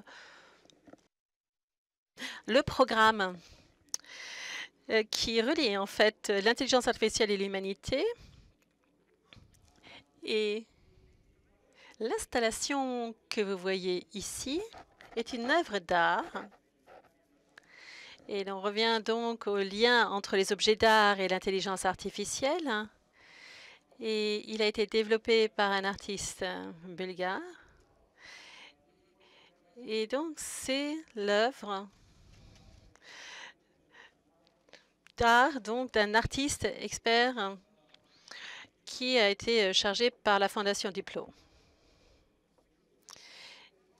Et les discussions qui avaient été menées sur l'intelligence artificielle lors des forums de, l'IGF précédentes ont été donc euh, synthétisées dans cet appareil qui a fait en quelque sorte une synthèse des discussions. Donc ça, c'est pour voir ce que l'intelligence artificielle va apprendre de nos discussions. Et donc, je m'adresse à présent à Kfalo, avant la clôture de cette séance. Donc, voilà, vous avez la parole. Je peux simplement dire que nous sommes ravis de participer à ce processus car cela regroupe les différentes parties prenantes, les entreprises, le public, mais également les représentants des milieux universitaires pour réfléchir à la façon de travailler à ce processus et de cadrer la discussion. L'idée est de parvenir à un cadre qui aborde les différents thèmes et ce qui permettra de faire la différence entre la vérité et les rumeurs. Et le premier mot qui vient à mon esprit est système. Donc, il faut que nous le fassions et que nous le fassions correctement. Il faut le faire comme il faut lorsque l'on parle de l'intelligence artificielle, car c'est un problème considérable que nous devons résoudre. Et il est important que nous réfléchissions donc à ce parti pris inconscient que nous avons. C'est ce à quoi nous devons nous consacrer, car de nombreuses recherches ont été reliées et l'on pourrait également faire référence d'ailleurs à d'autres systèmes d'enseignement et pas uniquement les systèmes d'apprentissage machinel également, mais également les autres types d'enseignement et de savoir exactement comment est-ce qu'on est arrivé ici et quelles sont les implications pour le pacte social, pour le contrat social. Et il est important, bien entendu, d'avoir des réactions de différents cercles, car il est important également que nous trouvions que nous utilisions les différents modèles afin de trouver les bonnes réponses, mais il faut également que nous synthétisions les différentes questions que nous devrons nous poser et les 60 de précision est possible lorsque l'on réalise des études. En tout cas, c'est ce que disent les statisticiens et c'est la raison pour laquelle il est important que nous parvenions à un résultat qui soit pertinent. Et la question est de savoir comment est-ce que nous pouvons réaliser des études qui soient euh, pertinentes également. Et la question est de savoir quels sont les différents aspects qu'il faudrait réformer également. Et ce sont les responsabilités des gouvernements de traduire tout cela tant dans le monde des Nations Unies, mais également gouvernemental également, et dans les différentes structures, et de voir comment est-ce que ces différentes réflexions peuvent être appliquées au, au secteur privé. Donc, qu'est-ce que l'on fait? Eh bien, il est important que nous nous retrouvions autour d'une table et que nous prévoyions une place également pour les usagers. Euh, merci beaucoup. Euh, merci beaucoup, euh, C'est quand même important de souligner que ce n'était pas... Euh, rien inventé, euh, c'est en fait euh, le résultat hein, du processus d'apprentissage de l'intelligence artificielle. Il y avait quand même quelques commentaires intéressants.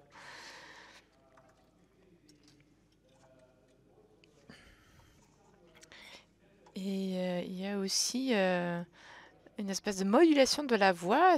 L'appareil est censé avoir une voix neutre